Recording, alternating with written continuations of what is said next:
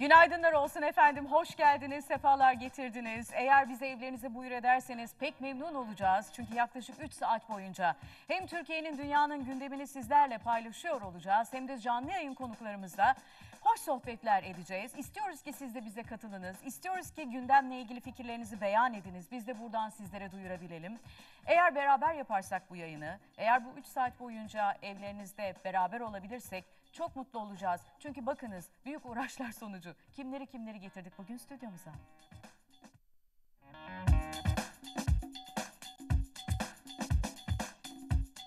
Pınar Ergüner'le hafta sonu yine dop dolu. Bu sabah Pınar Ergüner'le hafta sonunda bu tarz benim rüzgarı esecek. Bu tarz benim yarışmasının güzellerinden Tuğçe Ergiş'i her şeyi şimdi Pınar Ergüner'le hafta sonunda anlatmaya geliyor. Venüs retrosu ne zaman gerçekleşecek? Önümüzdeki hafta burçları neler bekliyor? Astrolog Dinçer Güner hepsini az sonra Pınar Ergüner'le hafta sonunda cevaplamaya geliyor. Destimali Şerif Mendili nedir? Padişahların içtiği kahve nasıl yapılır? Osmanlı döneminde Ramazan bayramının önemi nedir? Hepsini ve daha fazlasını az sonra araştırmacı Uğur Atik, Pınar Ergüner'le hafta sonunda anlatmaya geliyor. Pınar Ergüner'le hafta sonuna bugün Çanakkale ve İstanbul'da düzenlenecek olan yüzme etkinliğinin önemli misafirleri konuk olacak. Etkinlik hakkında her şey az sonra Pınar Ergüner'le hafta sonunda. Pınar Ergüner'le hafta sonu şimdi başlıyor. Hoş geldiniz, sefalar getirdiniz tekrar sevgili seyirciler. Ee, artık yaklaşık işte birinci ayımızı dolduruyoruz, dördüncü haftamızdayız. Bu dört hafta boyunca eğer bizi takip ettiyseniz biliyorsunuz ki elimizden geldiğince Türkiye'nin ve dünyanın gündemini hafta sonuna yansıyanları sizlerle paylaşmaya çalışıyoruz. Hem gazete gündem e, gündemini takip ediyoruz hem de TVM Haber Merkezi'nin sizler için hazırladığı haberlerle buluşturuyoruz sizleri. Bu arada yayın boyunca eğer bize katılımda bulunmak isterseniz ki e, Dinçer Güner şu anda yoldaymış merak edenler için söyleyeyim kendisi bir tweet atmış. E, Twitter aracılığıyla memnuniyetle bize her türlü sual, her türlü yorum, her türlü e, merak ettiğiniz şeyi e, iletebilirsiniz. Et Pinar Erguner e, bu adresten ulaşabiliyorsunuz. Bütün e, diğer sosyal medya hesaplarımda aynı adla devam ediyor. Şimdi sevgili seyirciler, geçtiğimiz haftalarda e, gazete manşetlerine kadar düşmüştü. Biliyorsunuz yurdumuza turistler geliyor. E, Asya kökenli turistler geliyor. E, ve Asya kökenli turistlerin de e, gelmesiyle birlikte tabii ki bir turizm cenneti olan ülkemiz şenleniyor ama son dönemde e, gerçekten kınayacağımız derecede e, saldırılar gerçekleşmeye başladı. Hep ne dedik? Şiddete şiddetle karşılık verilmez. Bunun başka yolları var. E, kendimizi daha demokratik, daha politik şekilde de e, anlatabilmeliyiz diye. Sayın Cumhurbaşkanı da bu sözlere katılıyor. E, çünkü Uygur Türklerine e, Çin Halk Cumhuriyeti'nde e, gerçekleştirilen e, çeşitli zulümler olduğu iddialarıyla, zulümler olduğu e, görselleriyle biliyorsunuz sosyal medyada çalkalanmış durumda. E, fakat tabii ki bunun üzerine galeyana gelen e, bazıları da gördükleri her Asya kökenli vatandaşa da saldırma boyutuna geçince işin rengi biraz değişti.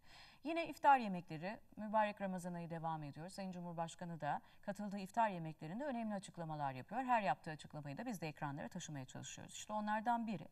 E, Cumhurbaşkanı Erdoğan diyor ki Türkiye'de Asyalılara yapılan saldırıları kınadığını belirtiyor.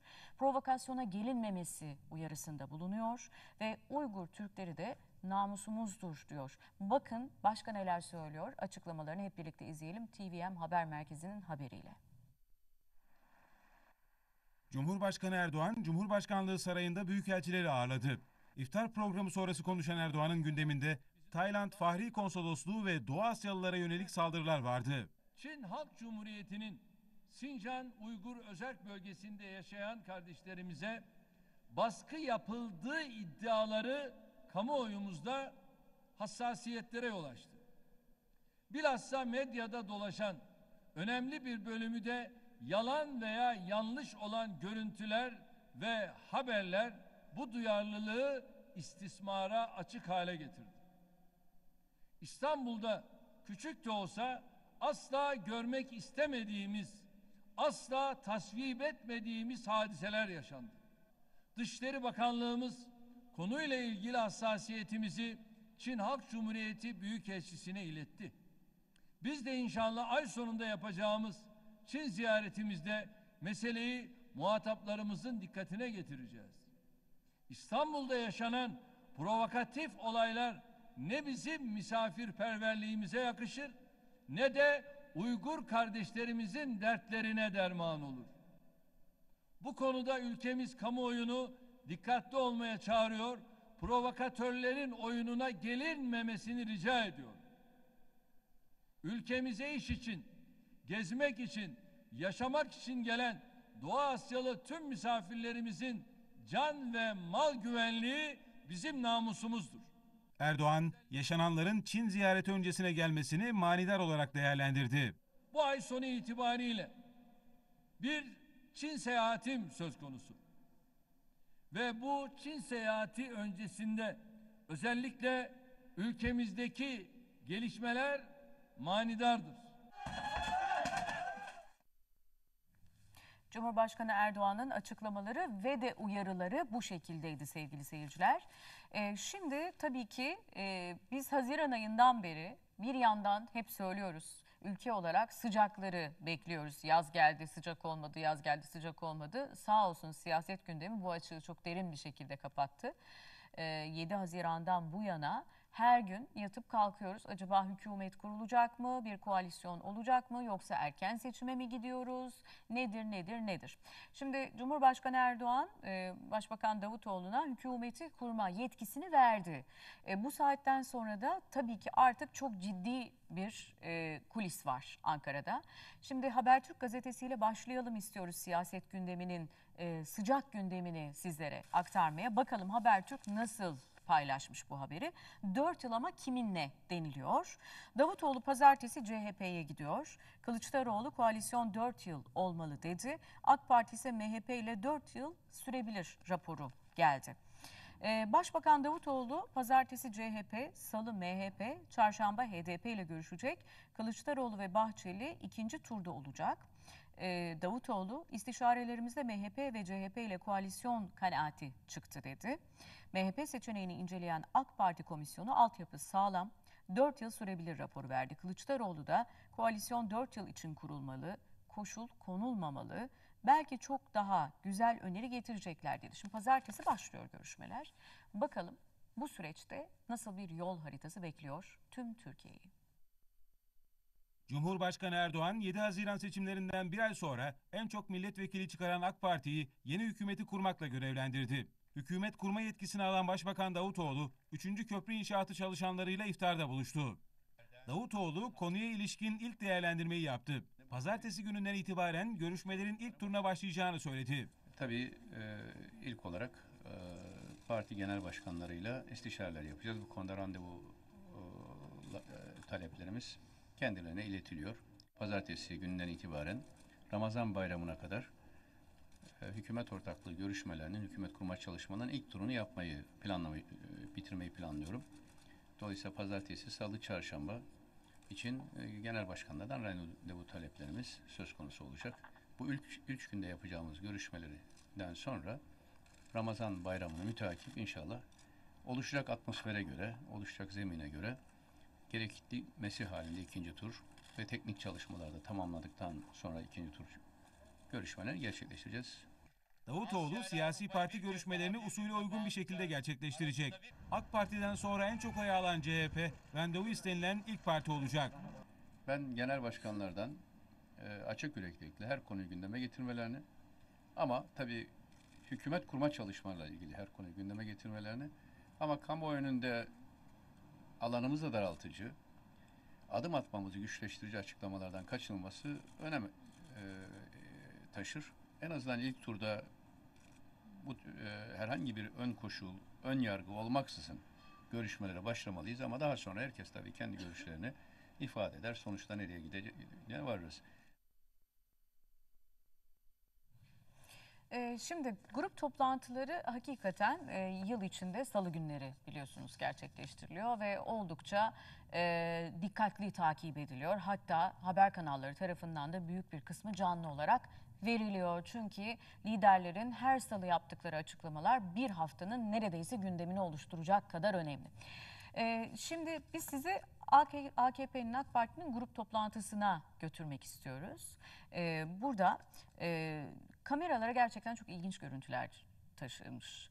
Ee, Sayın Davutoğlu konuşmasını gerçekleştiriyor, salona giriyor. Girişiyle birlikte merak ediyor musunuz acaba milletvekilleri neler yapıyorlar o konuşmayı dinlerken, o konuşmayı beklerken salona giriş esnasında? Bu arada söyleyelim Bülent Arınç e, gerçekten AKP grup toplantısında çok büyük ilgi görmüş, çok büyük sevgi görmüş. Şimdi bu detaylarla birlikte ben de çok merak ediyorum hakikaten acaba e, milletvekilleri bu toplantılarda neler yapıyorlar?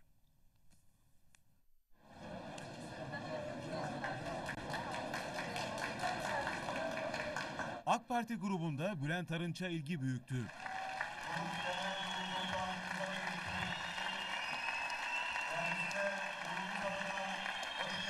Alkışlar arasında salona giren Başbakan Davutoğlu'nun yaptığı kısa konuşma sırasında bazı milletvekilleri gelen mesajlarını kontrol etti. Bir milletvekili telefonuna gelen deniz kenarında uzanmış bikinili bir kadın fotoğrafını görünce hızla geçti. bir koalisyon hükümetinin uğrayacağı zaaflara karşı da son derece dikkatli bir Bir başka milletvekili ise başbakan konuşurken cep telefonundan palyaço filmi izledi. Şu anda kolları sıvamış birçok projeyi başlatmış ve Tribünlerde oturan az sayıda izleyici arasında bulunan yaşlı bir partili başbakanın koruma müdürünün uyarısı üzerine salondan çıkarıldı. başbakanıyla, bakanlarıyla, siyasetçileriyle Başbakan kısa konuşmasını tamamladıktan sonra basın mensupları ve misafirler salondan çıkarıldı. Başbakan ise grup başkan vekili koltuğuna oturarak seçimlere geçildi.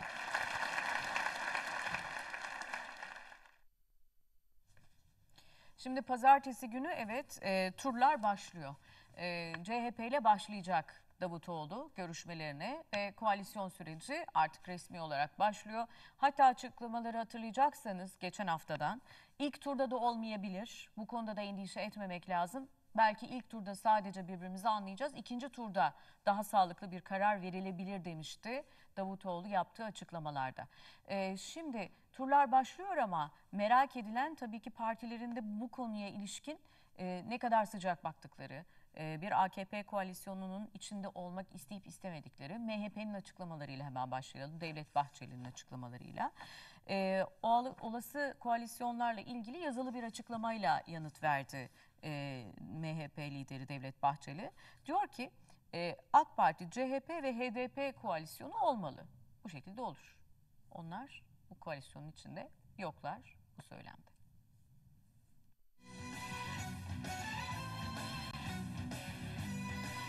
MHP lideri Devlet Bahçeli olası koalisyonlarla ilgili yazılı bir açıklama yaptı. Türk siyasi hayatında kökü ve geleneği olan Bahçeli, AKP, CHP ve HDP'nin birlikte koalisyon kurması gerektiğini savundu. Türkiye'de şayet bir siyasi bunalım doğarsa bunun öncelikli müsebbibi milletimizin verdiği koalisyon mesajını anlamakta kasten zorluk çeken, ayak sürüyen AKP, CHP ve HDP'den başkası olmayacaktır. Bunun yanında kaçak ve karanlık sarayda siyasi tanzim ve seçim hesaplarıyla ikbalini ve koltuğunu emniyete almaya çabalayan Cumhurbaşkanı Erdoğan da sorumluluktan kurtulamayacaktır. Bahçeli dört talebini şöyle sıraladı. PKK terör örgütü vakit kaybetmeksizin kendini lağvetmelidir. Devlette arınma ve şeffaflaşmanın sağlanabilmesi, Oslo'dan İmralı'ya kadar yapılan müzakerelerin, anlaşmaların ve verilen sözlerin eksiksiz açıklanmasına bağlıdır. AKP, gizli kapaklı yürüttüğü tüm pazarlıklar hakkında milletimize doyurucu bilgiler vermeli, terör örgütüne hangi vaat ve teminatları sunduğunu deklare etmelidir. Süreç sonlanmalıdır. Anayasanın ilk dört maddesinin içeriğinden taviz verilemez. 17-25 Aralık dosyaları açılmalıdır. Rüşvet ve yolsuzlukla etkin mücadele edilmelidir. Bu maddeleri sıralayan Bahçeli ardından şu mesajı verdi. MHP bu dört maddeye hürmetle beraber riayet ve refakat gördüğü takdirde Türkiye'nin siyasi istikrarsızlık yaşamaması için beklenilen fedakarlıkları çekinmeden gösterecektir.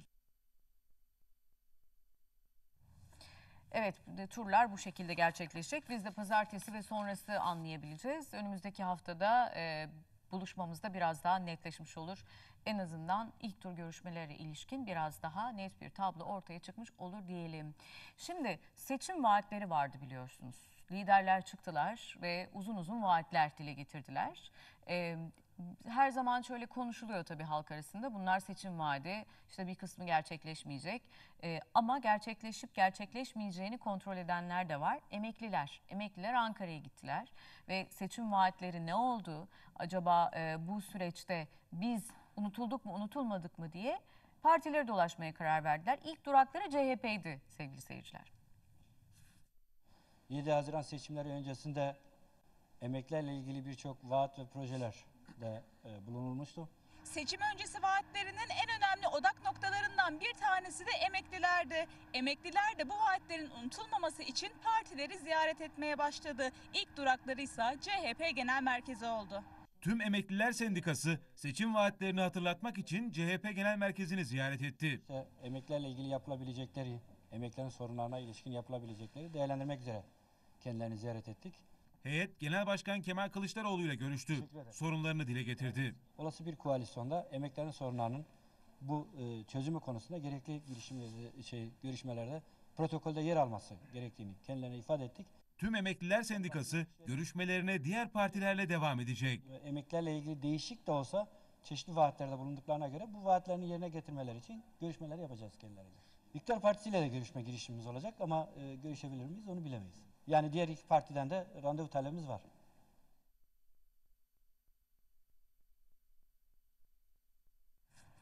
Emeklilerle devam edelim. O zaman bir müjde verelim emeklilere. Ee, aldıkları %4.76 oranındaki zam bayram öncesinde hesaplarına yatacak ve böylelikle bayrama zamlı maaşla başlayacaklar. Emekliye müjde. Zamlı maaş bayramdan önce ödenecek. Yaklaşık 9 milyon emekli bu haberi bekliyordu. Hükümet, SSK ve Bağkur emeklilerine maaşlarını bayram öncesi ödeme kararı aldı. %4.76'lık zamlı maaşlar 14 Temmuz Salı gününden itibaren ödenecek. Salı günü Bağkur emeklileri, çarşamba ve arefe günü ise SSK emeklileri zamlı maaşlarına kavuşacak. 3 milyon kamu çalışanı da zamlı maaş alacak. Memurların %3 toplu sözleşme zammı ve %1.76'lık enflasyon farkı ile birlikte zamlı maaşları 15 Temmuz'da ödenecek.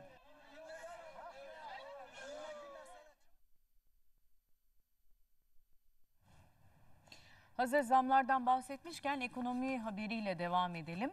Ee, cari açık beklentiyi aştı sevgili seyirciler. Ee, altın ve turizmin büyük değer kaybı yaşadığı ülkemizde cari açıkta büyüdü. Haberimizi izleyelim. Mayıs ayı ödemeler dengesi rakamları açıklandı. Cari açık beklentilerin üstünde gerçekleşti. Ekonomi kurmaylarının beklentisi 3 milyar 600 milyon dolardı. Ancak cari açık 3 milyar 990 milyon dolar olarak gerçekleşti. Dış ticaret açığının azalmasına rağmen net gelirlerdeki düşüş bu farkın doğmasına sebep oldu. Merkez Bankası en önemli gelir kayıplarının altın ve turizmde yaşandığını açıkladı. Ee, sabah saatlerinde 9'da yayınımızı ilk açtığımızda dedik ki e, Asya kökenli vatandaşlara e, Türkiye'de çeşitli saldırılar var. E, provokasyona gelmeyin diye de Sayın Cumhurbaşkanı'nın uyarıları var diye defalarca anlatmaya çalıştık. Şimdi vereceğimiz haber de maalesef bununla ilgili. E, Ankara'da bir Asyalı vatandaş Çinli diye halk tarafından tartaklandı sevgili seyirciler. Sokak ortasında e, kadın turiste Çinli dayağı atıldı.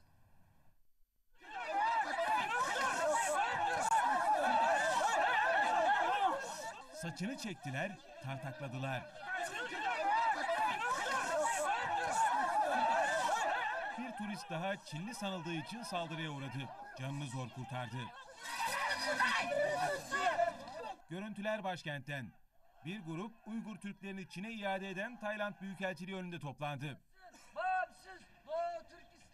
Doğu Türkistan'da yaşananları protesto etmek istediler. Tekbir getirdiler, sloganlar attılar.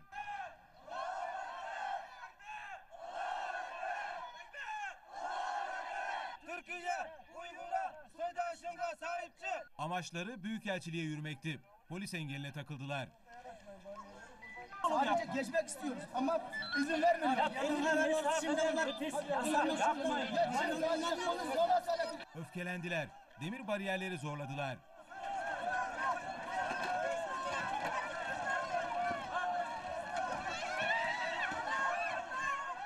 O sırada orada bulunan çekik gözlü turisti Çinli sandılar.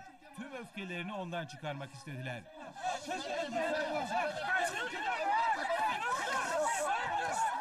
Genç kadını böyle tartakladılar. Kadın neye uğradığını şaşırdı. Canını zor kurtardı. İşte bundan bahsediyoruz. Yani her e, Çinli olsa dahi ülkemize gelmiş bir turist vatandaş. Yani onun bu konuyla ne alakası var, ne ilgisi var? Sadece bir ülkenin e, insanı diye bu şekilde provokatif hareketlerle saldırmak hiçbirimize yakışmıyor. Hele böyle bir mübarek günde e, her türlü duygumuzu, her türlü dürtümüzü kontrol altına almamızın salık verildiği, e, mutluluk, huzurla e, güzel bir Ramazan ayı geçirmemiz gerektiği aylarda e, bizim gibi Müslüman bir ülkeye böyle provokatif hareketler, e, ülkemize konuk olarak gelmiş insanlara hürmet etmeden bu şekilde saldırmak hakikaten yakışmıyor. E, böyle görüntüleri de önümüzdeki günlerde bir daha ekranlara getirmemek ümidiyle diyoruz. E, şimdi birazcık gazete gündemini takip edelim. Ee, az önce başlamıştık Habertürk'le. Habertürk'le devam edelim isterseniz. Habertürk'ün sür manşetiyle başlayayım açıklamalara. Ee, Habertürk Arda'nın yanındaydı biliyorsunuz. Milli gururumuz. Gerçekten çok büyük bir mutluluk oldu. Arda Turan'ın Barcelona'ya transferi. Hepimizin gözleri doldu. Ee, çok büyük bir mutluluk hissettik. Türk futbol tarihinin en önemli transferi dün gerçekleşti. Arda Turan İspanyol devi Barcelona ile 5 yıllık sözleşme imzaladı. Tören sonrası konuşan Milli Yıldız, olmak istediğim yerdeyim, güzel şeyler yapmaya geldim, en iyi Arda'yı görecekler dedi. Ee, Arda'nın imza törenini 6 bin kişi izledi. No Camp Arda Turan diye inledi. 2002'de Galatasaray-Barça maçında top toplayıcılık yapan Arda, e, Luis Enrique verdiğim topla gol attı, offside'dı diye espri yaptı. İnşallah önümüzdeki günlerde de e, formayı giyip de takımı için ter dökmeye başladığında güzel gol haberlerini de veriyor oluruz diyelim. Şimdi e, tribün tribün kapatmaya yüksek itiraz. Bir, bir hakim, iki savcı, bir müdür. Kombineli dört Galatasaraylı AYM'ye başvurdu. Manisa'daki küfürden arena kapatılamaz şeklinde. Spor haberleriyle devam etmiş olalım. 25 Ağustos 2014'te Manisa'daki Süper Kupa'da edilen küfürden dolayı Galatasaray Eskişehir maçı seyircisiz oynandı. Kombineli bir hakim, iki savcı ve bir banka müdürü şikayetçi oldu. Küfürle ilgimiz yok, cezanın bizi kapsaması anayasaya aykırı dedi. Federasyon itiraz dilekçesini reddedince 4 Galatas- Galatasaraylı Anayasa Mahkemesi'ne başvurdu. Ceza sorumluluğu şahsidir. Ee, anayasanın 38. maddesi çiğnenmiştir. Başvuruyu kabul eden AYM'nin kararı merakla bekleniyor. Hakikaten hepimiz merakla bekliyoruz. Zaten bazen hepimiz aynı dertten müzdarip değil miyiz sevgili seyirciler? Ee, bir şekilde toplumsal bir faaliyet içine girdiğinizde herhangi birinin yaptığı yanlış davranış işte kurunun yanında yaşlı birlikte e, de e, yanması demek oluyor. Dolayısıyla e, hepimiz aynı dertten madem muzdaripiz bu karar belki bir emsal teşkil edecek. Bundan sonraki herhangi bir eylemde veya herhangi bir hak kısıtlamasında da belki herkesin bu yola başvurmasına sebep olacak. Kirazı Rusya vurdu. Efendim mevsimin en güzel meyvelerinden ben de çok severim. E, iftar sofralarının da gerçekten olmazsa olmazı olunca da çok iyi geleni insana. Normalde dalında 5 TL'ye ihraç edilen kiraz Rusya krizi yüzünden bu yıl 2,5 TL'ye bile alıcı bulamadı, elde kaldı. İç pazarda da ürün fazla olunca fiyat 3 TL'ye kadar indi. Bu aslında tabii bir taraftan e, birçok çiftçinin cebine zarar olsa da e, bizim için de aslında biraz kar. Evet geçen senelere oranla çok daha ucuza yiyebiliyoruz kirazı. Zaman sanki donmuş gibi. Bugün Srebrenica katliamının 20. yıl dönümü. Bosnalı gazeteci Emine Seçoroviç Kaşlı'da tam 23 yıl sonra Saraybosna'da bombalanan evine ilk kez gitti. Savaşın korkunç yüzü harabe evde aynen duruyordu. Ee, hakikaten işte eğer bir şeyleri ısrarla gündeme getirmek, bir zulme seyirci kalmamak diyorsak hep Srebrenica katliamını da hiçbir zaman unutmamak lazım. Her zaman arkasında, her zaman takipçisi olmak lazım. Anne kucağında boğuluyordu. Antalya'da denize giren annesinin kucağında boğulma tehlikesi yaşayan minik Serra'yı sessiz ölümün pençesinden e, plajın can kurtaranı aldı.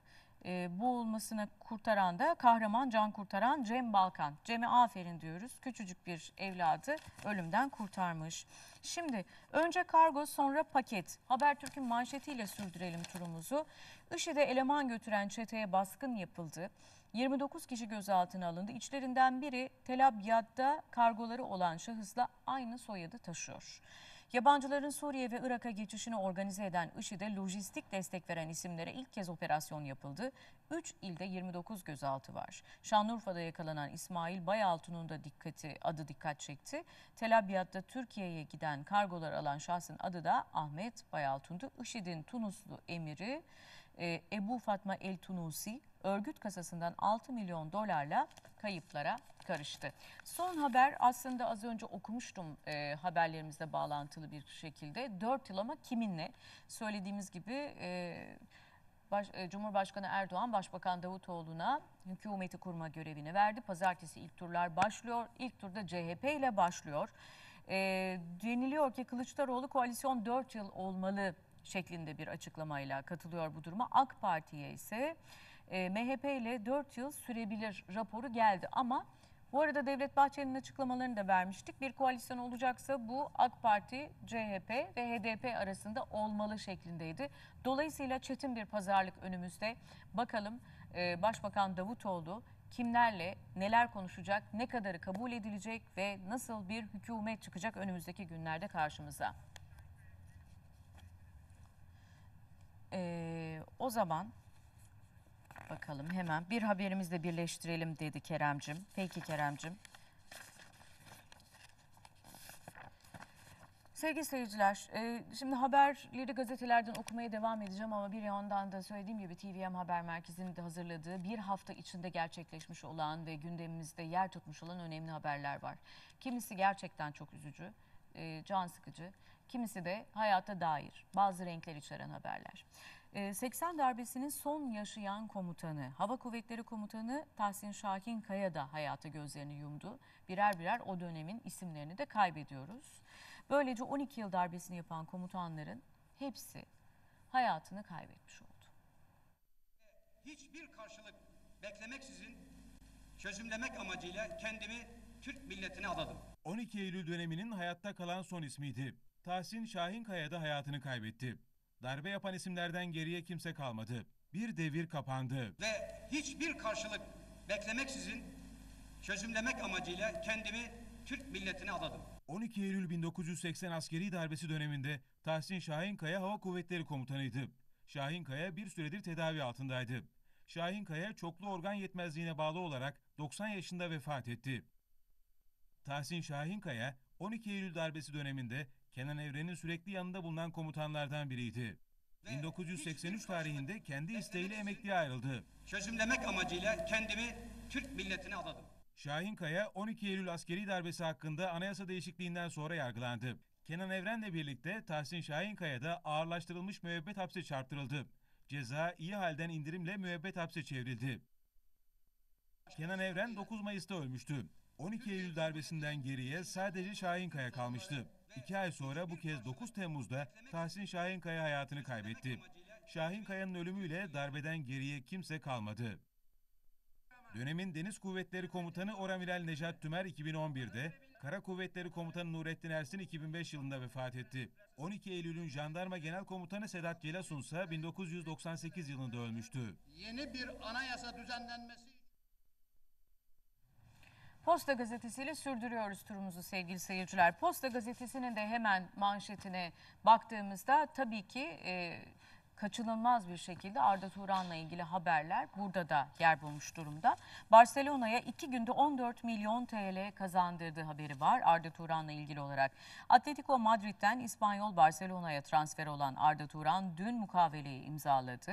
Camp Nou stadındaki imza töreninden sonra sahaya çıkan Arda'yı tribündeki futbol severler Barcelona ve Galatasaray bayraklarıyla karşıladı. Sırtında Arda Turan yazan 55 bin Barcelona forması tanesi 85 25 Euro'dan dünya genelinde 2 günde satıldı. Barcelona'nın kasasına 4 milyon 675 bin Euro girdi. Barcelona Arda'ya 5 yıl için 40 milyon euro ödedi. Şimdiden Arda Turan çok karlı bir yatırım olduğunu da ispat etmiş oldu. Davutoğlu CHP veya MHP diyor. Çünkü pazartesi ne dedik? Görüşmeler başlıyor. Cumhurbaşkanı Erdoğan'ın yeni hükümet kurma görevini verdiği AK Parti lideri Davutoğlu pazartesi 14'te CHP Genel Merkezi'nde CHP lideri Kılıçdaroğlu ile görüşecek. Salı MHP lideri Bahçeli, çarşambada HDP lideri Demirtaş'la e, buluşacak. Sonuç alamazsa Davutoğlu bir sonraki hafta liderlerle ikinci tur görüşmeler yapacak. Davutoğlu 3 partiyle de görüşeceğim ama yoğunluğu CHP ya da MHP koalisyon kurmaya vereceğiz şeklinde e, bir başlık. Şimdi Candaş Tolga'nın da hemen yazısının küçük bir parçası var. Onu da hemen okuyayım. İlerleyen günlerde istiyoruz inşallah Candaş Tolga'yı da konuk edeceğiz. E, Türkiye erken seçime giderse geçici seçim hükümeti kurulacak. MHP ve HDP bu hükümette mecburen bir arada olacak. Bu iki partinin aynı hükümette olması için ille de erken seçim ya da ille de anayasa emrimi gerekiyor diyor. Ha, e, devam eden e, yazının devamında Posta Gazetesi'de bulabilirsiniz diyoruz. E, iplere vurup balkonun içine düştü. Görebiliyor musunuz bilmiyorum. Ekranın sağ tarafında uzun bir haber var. Orada Efe ipten döndü. Ordu'da 5. kattaki evlerinin balkonunda oynayan 1,5 yaşındaki Efe Doğan aşağı düştü. Birinci katta gerili çamaşır iplerine çarptı. O hızla iplerin üstünde yaylanan Efe birinci katın balkonuna uçtu. Hastaneye kaldırılan Efe'nin sağ eli zedelendi. Yani şükürler olsun sadece böyle bir e, şeyle atlatmış olduk. Allah uzun sağlıklı bir ömür nasip etsin diyelim. E, bu kimin adamı? 5 Haziran 14.33. Orhan Gönder bombayı koymuş. Miting meydanından çıkıyor. 2 saat 17 dakika sonra da bomba patlıyor. HDP'nin 5 Haziran'da Diyarbakır mitinginde patlayan zaman ayarlı bomba 4 kişiyi öldürmüştü. Olayın faili olarak yakalanan 20 yaşındaki Orhan Gönder'in Adıyaman'daki ailesi oğullarının aşırı dinci terör örgütü IŞİD'e katıldığını olaydan 3 ay önce polise haber vermişti, ihbar etmişti. Başbakan Davutoğlu'na ulaşıp oğullarının bulunmasını bile istemişler. Skandal bununla da bitmiyor. Saldırıdan iki gün önce polis Diyarbakır'da kaldığı otele gidip Orhan Gönder'i asker kaçağı olarak sorgulamış sevgili seyirciler. Ve ardından da serbest bırakılmış. Teröriste devletten birilerinin yardım ettiği kuşkusu var. Ee, İçişleri Bakanı Sabahattin Öztürk dün şöyle dedi. Birileri kollasaydı asker kaçağı olarak da sorgulanmazdı. Terör ihbarı bilgisayara girilmemiş bir ihmal var. Kasıt mı değil mi araştırıyoruz. Hakikaten çok ciddi iddialar. Bu konuya ilişkin de gelişmeleri tabii ki vereceğiz. Şimdi e, bilerek sona bıraktım. Aslında görüyorsunuz Türkiye'de ölmek bu kadar kolay başlıklı bir haber. 26 yaşındaki Berna Kurtuldu yatak odasındaydı. Bir Maganda'nın gelişi güzel sıktığı kurşun başına isabet etti ve öldü. Maganda katil dün mahkemede kendini aynen şöyle savundu. Takdir ilahi. Bu söz çok güzeldir aslında takdir ilahi. Gerçekten her şey Allah'tandır başımızla beraber. Hayır da şer de ondan sorulur. Ama böyle bir şeyde hayır.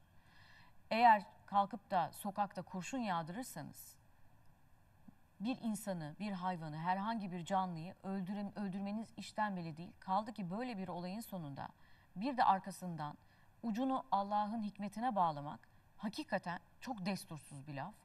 Çok iç karartıcı bir laf. Bir insanın hayatı söz konusu ve tek yaptığı da evinde oturuyor olmak, evinde bulunuyor olmak. Yani nerede güvendeyiz, nerede kendimizi güvende hissedebileceğiz hiç bilemiyorum.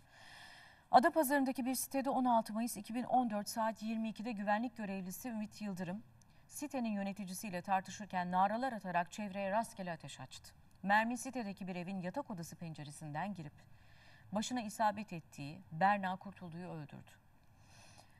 Sevgili seyirciler ilginç bir rakam söyleyeceğim. Tutuklu yargılanan Ümit Yıldırım'ın dün karar duruşması vardı. Son duruşmasında takdir ilahi böyleymiş dedi. Hakim de Ümit Yıldırım'a 26 yıl hapis takdir etti. Tabii ki adaletle ilgili herhangi bir yorum yapmak mümkün değil. Yaşamın çok ucuz olduğu Türkiye'de yılda bin kişi maganda kurşunuyla günde 4 kişi iş kazasında günde 10 kişi trafikte ölüyor. Ne kadar büyük bir rakam farkında mısınız? Gün yani bir yıl içinde bin kişiyi, bin canı maganda kurşunlarına yani zevkü sefa içinde veya canı sıkılmış diye e, kendi mutsuzluğunu veya mutluluğunu bir şekilde elindeki silahla kutlamaya veya altın çizmeye çalışan magandalar yüzünden bin canımızı kaybediyoruz. Çok büyük bir rakam. Ee, Allah rahmet eylesin. Gencecik bir insanı toprağa verdik bu şeyle. Bir daha keşke böyle diyeceğim. Her seferinde ben bunu söylemeye, dilemeye, Allah'tan dilemeye devam edeceğim. İnşallah böyle haberler vermem. İnşallah böyle haberlerle bir arada olmayız. Şimdi kadına şiddetten çok bahsediyoruz. Yine bir kadın ölümü haberi verdik. Her ne kadar talihsiz bir kazayla dahi olsa yine de gencecik bir kızımızı toprağa verdik. Ee, Adana'da yaşayan bir çocuk annesi Çilem'den bahsetmek istiyorum size. Kadına şiddetin çok yoğun bir şekilde yaşandığı bir ülkedeyiz maalesef ki. Her her zaman kadına şiddetin ne kadar yanlış olduğunu, nasıl canımızı yaktığını her türlü haberle e, anlatmaya çalışıyoruz. Gencecik kızlarımızı toprağa verdik. Şimdi bu haber biraz daha farklı sevgili seyirciler. E, bir çocuk annesi Çilem diyor ki hep kadınlar ölmesin biraz da erkekler ölsün demiş ve kocasını öldürmüş. Yaptığı açıklamalar da çok dikkat çekici. Tabii insan öldürmenin hiçbir noktada hiçbir açıklanacak o ölmesin bu ölsün denecek bir tarafı yok. Ne kocalar ölsün, ne karılar ölsün, ne kadınlar ölsün, ne adamlar ölsün. Hiç kimse ölmesin, kimsenin kimsenin yaşam hakkını elinden almaya hakkı yok. Ama bakalım nasıl açıklamalar yapmış. Gelin uzanalım. Bir çocuk annesi kadın kocasını öldürdü, yakalandı. Kadınlar ölmesin. Arkadaşım tamam. Tamam hadi başladı. Tamam tamam. Çilem Karabulut 28 yaşında Adana'da yaşıyor. Genç kadın Hasan Karabulut'la 2,5 yıl önce evlendi ve bu evlilikten bir kız çocukları oldu. Çift şiddetli geçimsizlik nedeniyle boşandı. Çift kızları için yeniden bir araya geldi. Ancak çıkan tartışma büyüdü, genç kadın kocasını öldürdü. Çilem Karabulut'un büyük çilesi de ortaya çıktı. Genç kadın kocasından sürekli dayak yiyordu. Fuhuş yapmaya zorlanıyor, yapmadığı zaman da dövülüyordu. Hastanede bile dayak yemişti. Genç kadın yapılanlara dayanamadı. Yine fuhuş yapması istenince kurşun yağdırdı. Namusum için yaptım dedi. Ne yapıyorduk ki? Eşini tabancayla öldüren genç kadına gazeteciler kocanı neden öldürdün diye sordu. Çilem bir şey söylemeyecek misin? Çilem pişman mısın? Pişman mısın? Ne dediğinizi anlamadık. Kadınlar ölmesin. Arkadaşım tamam. Tamam hadi başladı. Şimdi sevgili seyirciler Ankara'ya uzanacağız. Ankara'da e, mah- bir mahkum eşinin hastaneye getirdiği silahla askerleri vurup kaçtı. Sonrasında yakalanan mahkum tekrar cezaevine konuldu ama haberin ilginç bir hikayesi var. Çünkü altında kocasına aşık bir kadın var. Bakın hep birlikte izleyelim. Eşinin getirdiği silahı aldı, firar etti. Mahkumun o görüntüleri ortaya çıktı. Görüntüler başkentten. Mahkum Eyüp E, Sincan Açık Ceza İnfaz Kurumu'nda kalıyordu. Sağlık kontrolü için hastaneye getirildi ama aklında kaçmak vardı. Uygun fırsatı kolladı. Eşinden aldığı tabancayla kendisine refakat eden iki görevli askeri ve hastanedeki vatandaşları yaralayarak kaçtı. O sırada güvenlik kameraları kayıttaydı. Etrafa böyle kurşun yağdırdı. İkisi asker üç kişiyi yaraladı ve firar etti. Ancak kaçış uzun sürmedi. Mahkum yakalandı. Hürriyetle devam edeceğim sevgili seyirciler. Hürriyet'in manşetleriyle başlayalım. Türkiye için oynayacağım diyor Arda. Her gazetede Arda ile ilgili bir haber var. Ben de her gazeteden Arda ile ilgili haberleri okumaya e, bıkmadan sürdüreceğim. Çünkü gerçekten bu hafta çok büyük bir coşku yaşattı hepimizi. E, zıpladık koltuklarımızda. Herkes sosyal medyada Arda'nın başarısını paylaştı. Ünlü ünsüz herkes gerçekten çok sevindi. E, Aa haberimiz de varmış. Peki o zaman ben bu başlığı okuyayım Keremcim arkasından verelim. Türkiye için oynayacağım. Arda törende Barcelona'da yalnız kendim için değil, e, ülkemin insanları ve birçok değer için oynayacağım. Çok teklif aldım ama konu Barcelona ise hiçbirinin önemi kalmıyor. Hayatımda en çok olmak istediğim yerdeyim. En iyisini yapmak istiyorum dedi. TVM Haber Merkezi de bununla ilgili haber hazırladı. Bakalım neler var. De l'import del contracte, que s'ha fixat en 34 milions d'euros. Ve milli gururumuz Arda Turan resmen Barcelona'da oldu. Dünya deviyle 5 yıllık sözleşme imzaladı. Ya, ya, si- ya si no te las ganas ya. Atletico Madrid forması giyen Arda Turan 41 milyon avro bedelle dünya devi Barcelona'ya transfer olmuştu. Arda bu ücretle Barcelona tarihindeki en pahalı dördüncü futbolcu unvanını aldı. Yıldız futbolcu için Nou Camp'ta imza töreni düzenlendi. Törene İspanyol basınının ilgisi büyüktü. Milli futbolcumuz kendisini Barcelona kulübüne resmen bağlayan imzayı attı. Tiene que saber que va a pasar eso durante seis meses. Yeni formasıyla birlikte objektiflere poz verdi. Arda'nın yeni takımında 6 numaralı formayı giymesi bekleniyor. 5 yıllık sözleşme imzalayan Yıldız futbolcu, Katalan ekibinin transfer yasağı nedeniyle 6 ay forma giyemeyecek. Yıldız futbolcu yeni kulübünde yıllık yaklaşık 8 milyon avro kazanacak. Hayallerinin takımına geldiğini söyleyen Arda, Barcelona forması altında oynamak için sabırsızlandığını söyledi. Arda imzadan sonra basının karşısına geçti. Dünyanın en büyük kulübünde olduğum için, burada olduğum için çok mutluyum. Ve hayatımda en çok olmak istediğim yerdeyim şu anda. Arda'ya şimdiki hocası Luis Enrique'nin gol attığı ve kendisinin top toplayıcılık yaptığı Barcelona Galatasaray maçı soruldu.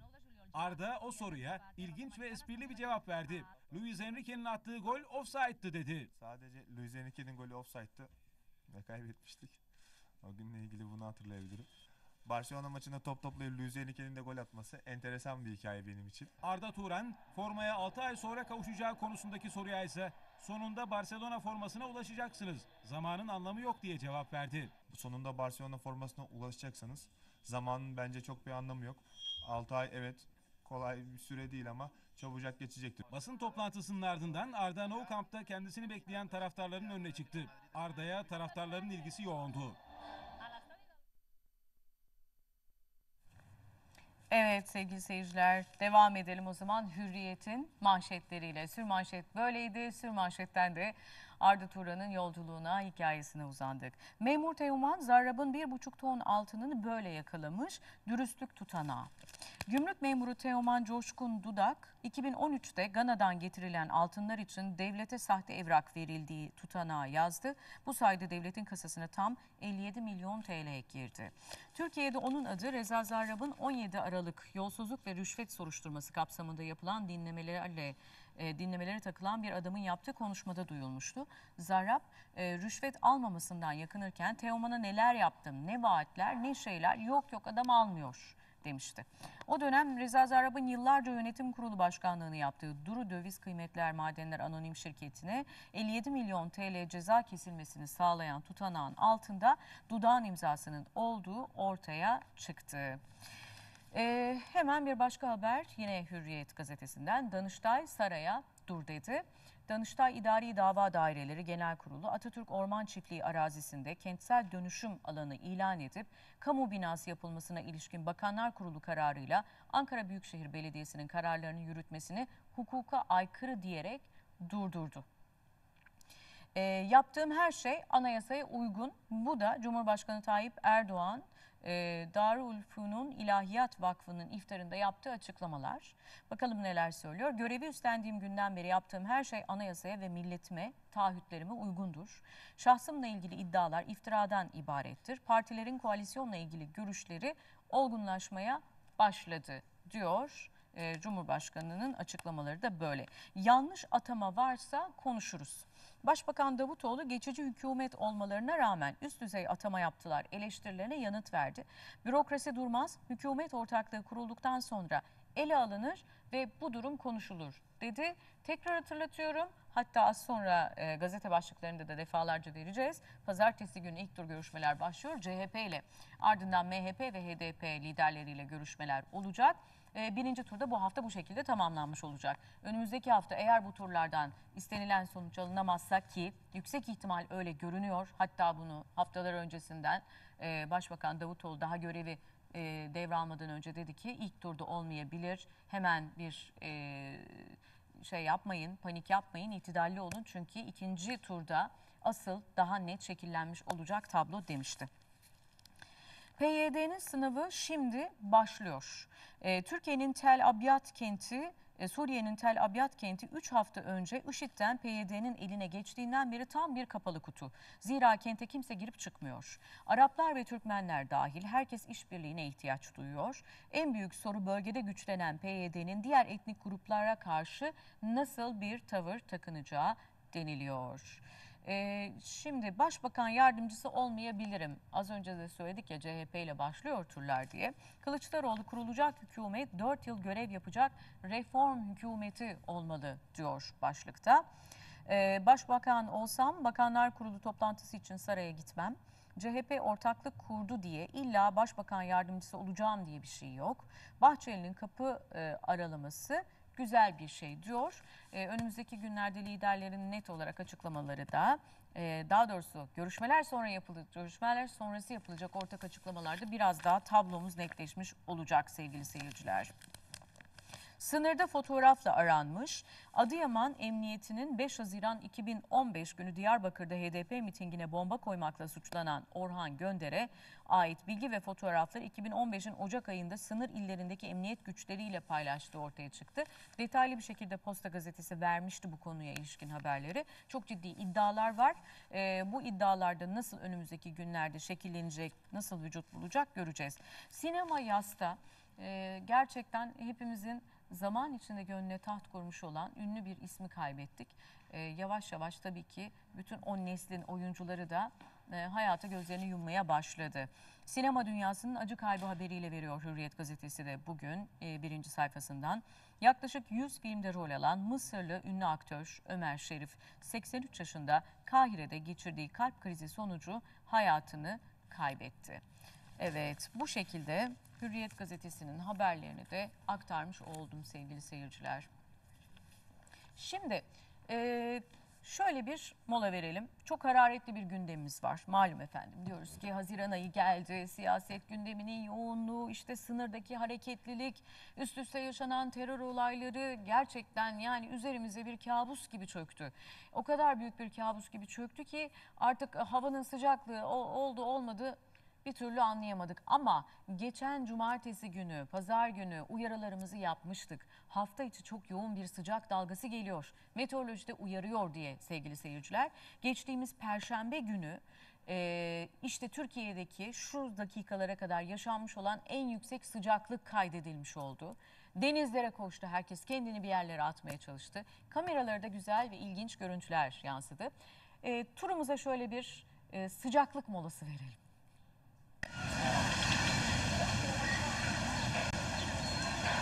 Bu yazın ilk sıcak hava dalgası geldi. Termometreler kimi yerlerde 40 dereceleri aştı. Türkiye bu yılın en sıcak gününü yaşadı. Yaz bir türlü gelmedi derken şimdi de bir geldi pir geldi. Sıcaklıklar mevsim normallerinin 4 ila 8 derece üzerine çıktı. Vatandaşı yaktı kavurdu. Sıcak mı bugün? Çok sıcak ya 35 derece herhalde. Sıcak hava dalgası Türkiye genelini etkiledi. İmkanı olan vatandaş kendini sahile attı. Sıcak mı bugün? Evet çok sıcak. Evet. Girdiniz mi denize? Girdik. Sıcak mı peki bugün? Evet çok sıcak. İstanbul, Ankara ve İzmir bu yazın en sıcak gününü yaşadı. Kimi gölgede serinledi, kimi de kendini denize attı. Sıcak mı? Çok sıcak ama. Denizin suyu nasıl peki? Çok güzel. 10 numara bir suyu var. Peki girin de görelim o zaman. İstanbul'da sıcaklıklar gölgede 35, güneşte ise 43 dereceyi gördü. Ankara'da da sıcaklık güneşte 43 dereceye çıktı. İzmir, Aydın, Balıkesir ve Manisa'da en sıcak gününü yaşadı. Gölgede sıcaklık 38 dereceyi gördü. Güneşte ise 45 dereceyi aştı. Sıcaklığın yakıcılığını azaltan rüzgar da bugün bir türlü esmek bilmedi. Nem de yüksek olunca nefes almak bile güçleşti. Sıcaklıklar yüksekti ama bu durum kimilerinin işine yaradı. Güneşin altına yattı, bronzlaştı. Hocam güneş yakmıyor mu sizi böyle? Teşekkür ediyorum. Yanmıyor musunuz böyle? Fazla yanmıyorum çünkü daha önceden yandığım için. Güneş kremi mi sürüyorsunuz? Evet. Sıcak mı bugün? Evet fazla sıcak değil de normal yani. Karadeniz'de de durum farklı değildi. Sıcaklıklar 35 dereceyi gösterdi. Uzmanlarsa uyardı. Yaşlılar, kalp ve tansiyon hastalarıyla oruç tutanlar güneşe çıkmasın denildi. Serinliyor muyuz? Seviyoruz buraları. Sıcak hava dalgası batıda yerini cumartesi günü serin havaya bırakacak. Rüzgar Marmara'yı az da olsa serinletecek. E, Bu arada sevgili seyirciler sabah yavaş yavaş uyanmış olan ve bizlere katılım sağlayan izleyicilerimiz var. Bir kez daha söylüyorum. Et Pinar Erguner e, Twitter adresimizden ulaşabilirsiniz. Az sonra konuklarımız da yavaş yavaş gelmeye başlayacaklar. E, gerçekten çok renkli konularımız ve sohbetlerimiz olacak. Dolayısıyla şimdiden eğer sosyal medya hesaplarınızı önünüze açarsanız bize ulaşmanız çok daha kolay olacaktır. E, tabii herkes kendi adını kullanmadığı için kullandıkları isimlerle hitap etmek zorunda kalıyorum. Kusuruma bakmayınız lütfen. Ressam Şahir, günaydın, sağlıklı, mutlu hafta sonları ve iyi yayınlar diliyorum demiş. Çok teşekkür ediyoruz. E, aramızda olduğunuz için teşekkür ediyoruz. Aydın Erdem Beyefendi de programınız hayırlı olsun, başarılarınızı diliyorum demiş. Çok teşekkür ediyoruz. Sağ olun. Siz seyrettikçe, siz var oldukça biz de varız. Eğer e, ekranın diğer ucundan, vizörden biz buradan bakıyoruz ama öbür tarafta eğer evlerinize bizi konuk ediyorsanız, buyur ediyorsanız ne mutlu bize diyelim. E, Kahraman da diyor ki günaydın, iyi yayınlar. Biz de teşekkür ediyoruz. Sizlere de günaydınlar olsun, iyi yayınlar. Sevgili seyirciler az önce e, çok kıymetli, değerli bir oyuncumuzun, e, dünya çapında bir oyuncunun e, Ömer Şerif'in ölüm haberini verdim. Hürriyet gazetesinden 83 yaşında hayatını kaybetti.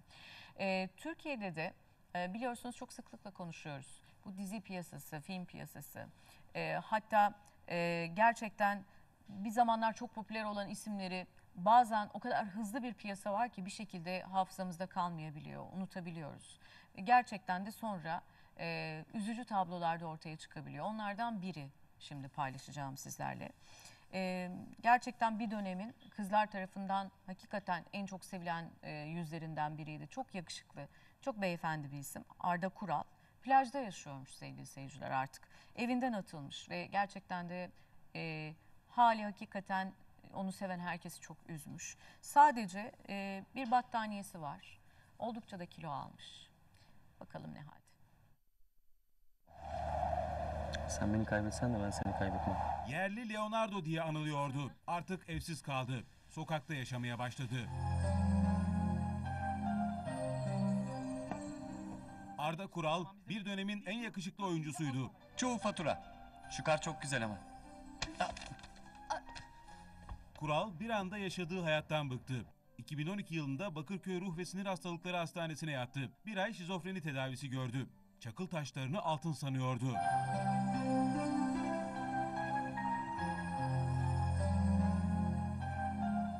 Arda Kural'ın sıkıntısı iyice arttı. Annesi Gülnur Kural kirasını ödeyemedi, evden çıktı. Abisinin evine taşınmak zorunda kaldı. Bir seneden daha fazla olmuştur yani burada oturuyoruz. Eski oyuncu boş dairede kalmaya devam etti. İddiaya göre Arda Kural çocukları korkuttu. Komşuları Arda'nın davranışlarından rahatsız oldu. Polise şikayet etti. Kural'ın evde kalan kıyafetlerini komşular valizlere doldurdu. Apartmanın kapısına bıraktı. Uykusuzum biraz. O yüzden. Sokakta kalan Kural büyük çekmeceden ayrılmak istemiyor. Yani çok büyük bir bir yer olmadığı için, küçük bir yer olduğu için herkes e, birbirini tanıyor falan. Yani e, ne yaptığım biliniyor, nasıl yapacağım e, bilinir. Yani e, bir- e, güzel bir ortam ya. Küçük kasaba ortamı, güzel ortam yani. Şimdi o hayatını sahilde geçiriyor. Geceleri şezlongda uyuyor. Sahildeyim ha. Şimdi burada burada keyif keyif çatıyorum yani. Yanında sadece bir battaniyesi var. Hastalığına özgü ilginç sesler çıkarıyor. Üzerindeki elbiseler çok kirli. Ayakları da yara içinde. Oldukça da kilo almış. Kuralın eski halinden eser yok. Fiziksel ve ruhsal durumu oldukça kötü. Cümleleri bir araya getirirken zorlanıyor. Buraya yani bu, e, bu- burada oturuyordum zaten yani. burada oturuyordum. Bir, yer, bir yerden gelmedim burada burada oturuyoruz. Arda Kural geçirdiği psikolojik rahatsızlığın izlerini taşımaya devam ediyor. Üstelik tedavisi de hala devam ediyor. Zaten hala tedavi sürecindeyim. Yeni geçirdim. Hala dinleniyorum yani. Gerçekten çok üzücü görüntüler. Ee, şimdi yakın zamanda kaybettik büyük ustayı Kayahan'ı. Ee, gerçekten çok üzüldük. Bir devir kapandı birçoğumuz için. Ee, şarkılarıyla ölümsüz her zaman başımızın tacı olacak. Yüreğimizdeki en güzel yerlerden birine e, sahip olacak. Onun şarkılarıyla ne aşklar başladı ne biten aşkların arkasından da acılara yarenlik etti o şarkılar. Ee, keşke böyle güzel güzel başladığım bu cümleleri yine güzel güzel bir iki sözle devam ettirebilseydim ama biliyorsunuz ölümlerin ardından miras kavgaları olabiliyor. Bu miras kavgaları da insanların içlerinde biriktirdikleri her şeyi, yıllar içinde söyleyemedikleri her şeyi de su yüzüne çıkartıyor. Ama bu iki isim e, gerçekten bu e, rahmetli ustamızın en sevdiği iki insan olunca hakikaten o zaman biraz üzücü görüntüler ve sözler e, ortaya çıkmaya başlıyor. Beste Açar ve annesi e, İpek Açar hakkında şok açıklamalarda bulunmuş sevgili seyirciler. E, miras kavgasına düşen Kaya'nın ardından Açar ailesi e, her gün gündeme yeni bir sansasyonel açıklamayla düşüyor. Keşke böyle olmasaydı. Öyle hüzünlü bakma kar tanesi Bu defa götüremem Baban yaşında adamla birlikte oldun. Hayatımıza kara bulut gibi çöktün. sakın ha ağlama Sanatçı Kaya'nın vefatının üzerinden 3 ay geçti. Büyük kızı Beste ile eşi İpek Açar arasında miras kavgası ortaya çıktı.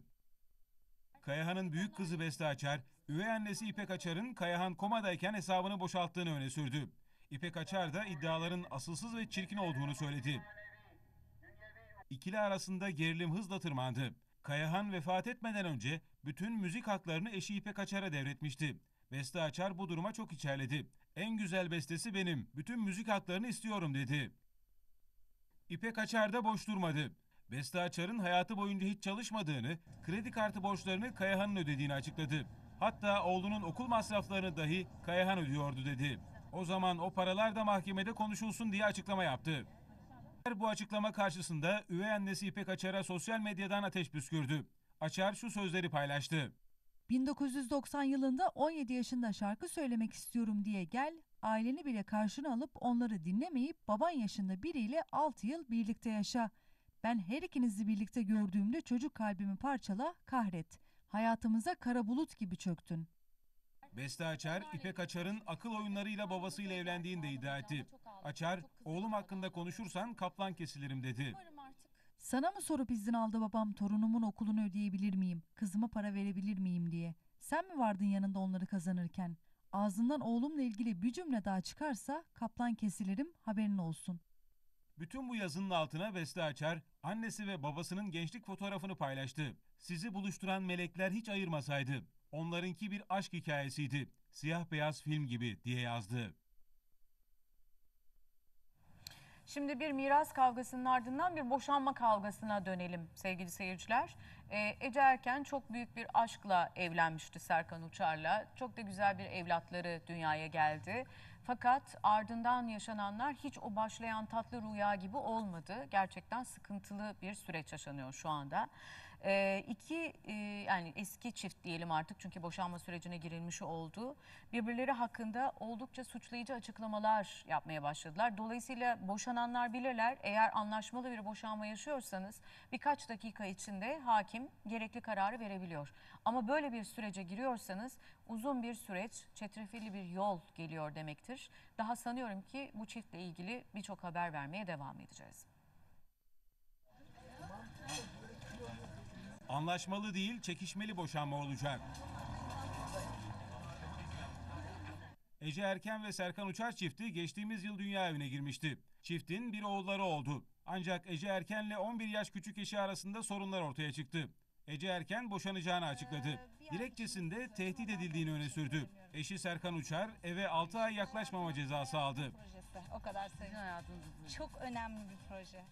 Serkan Uçar'ın beni terk edersen seni öldürürüm keserim dediği iddia edildi. Tüm bu yaşananlara rağmen Ece Erken Serkan Uçar'a boşanma davası açmamıştı. Serkan Uçar hızlı davrandı. Ece Erken'e boşanma davası açtı. Serkan Uçar'ın davası anlaşmalı değil, çekişmeli olarak görülecek.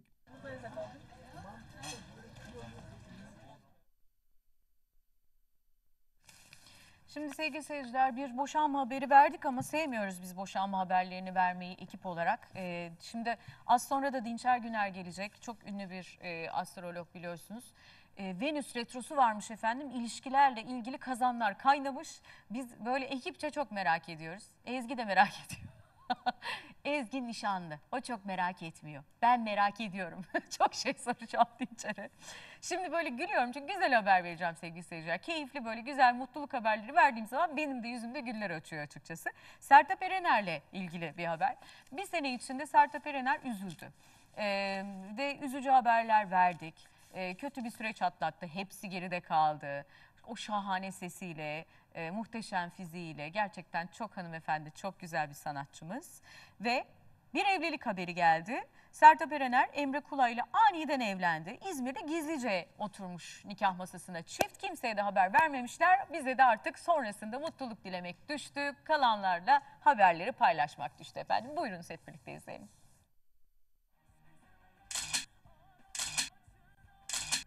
Aniden evlendiler. Ünlü şarkıcı Sertab Erener, Demir Demirkan'la 18 yıldır birlikteydi. Çift geçtiğimiz yıl ani bir kararla ayrıldı. Demir Demirkan lise aşkıyla birlikte olmaya başladı. Bir aşk, yeni bir iş, yine gülecek bir neden lazım. Sertab Erener ayrılığın ardından arkadaş grubuyla eğleniyordu. Erener kendinden 18 yaş küçük gitarist Emre Kulay'la yakınlaştı. Fotoğrafları basına sızınca arkadaşım dedi. Gelene dolaştır beni, kimseleri. Erener'le Emre Kula 5 aydır aşk yaşıyordu. Çift bunu her fırsatta reddediyordu. Bu konuya hiç girmeyin, hiç gereksiz. Ben iki defa evlendim, bir daha yok. Yani, Yani ben konuyu kapadım. Bütün bu yaşananlardan sonra Sertab Erener bombayı patlattı. Gitarist sevgilisi Emre Kula'yla İzmir'de gizlice nikah masasına oturdu. Çiftin bu mutlu gününde sadece en yakın arkadaşları vardı. İkili ailelerine bile haber vermeden evlendi. Son bir şans ver, sil baştan. Evet iki, iki kere evlendim üçüncüyü evlenmem demiş ama büyük konuşmamak lazım diye ağzımızdan çıkan her söze çok dikkat etmek lazım hakikaten. Asla asla demeyeceksiniz. Asla dediğiniz her şey bir gün başınıza geliyor. Yaşanmış, denenmiş, görülmüştür. Onun için asla demek yok. Bu arada sevgili izleyicilerimiz Mehmet Odabaşoğlu çok teşekkür ederiz efendim. Açılsın TVM. Ee, başladığı güzel bir program demişler. Sağ olunuz, var olunuz. Ee, Şebnem Hanım, Dinçer Bey'i dört gözle bekliyormuş. Biz de dört gözle bekliyoruz. Beklemeye devam edeceğiz. Az sonra stüdyomuzda olacak. Hemen bunun haberini de verelim. Arif Türkoğlu, günaydın, iyi yayınlar demiş. Günaydın efendim, iyi yayınlarımız sizlerle birlikte oluyor. Çok mutlu oluyoruz sizler yanınızda olunca. Şimdi e, başladık hazır renkli gündem maddeleriyle sizi buluşturmaya. O zaman devam edelim sevgili seyirciler. Bakalım gazetelerin hafta sonuna dair nasıl e, renkli haberleri var bizlerle buluşturmak istedikleri. Sabahlı günaydın başlayalım. Ne güzeldi o günler. E, A- e, ATV'nin dizisi Aşk zamanında oynayan Bingöl, Ege'yi severim bir gün küçük bir sahil kasabasına yerleşeceğim diyor ve bakın neler söylüyor sevenleri için. Yavuz Bingöl e, bir dergiye yaptığı e, açıklamalarda takım elbiseye karşı zaafım var demiş efendim. Buna babamın büyük katkısı oldu. Kendisi gibi biz de e, bizi de hep şık giydirmeye çalıştı. Müzisyen annem sayesinde aşıklarla, ozanlarla büyüdüm ben diyor. Piyanoyu çok severim. Türküleri de piyano ve bağlama eşliğinde söylerdim.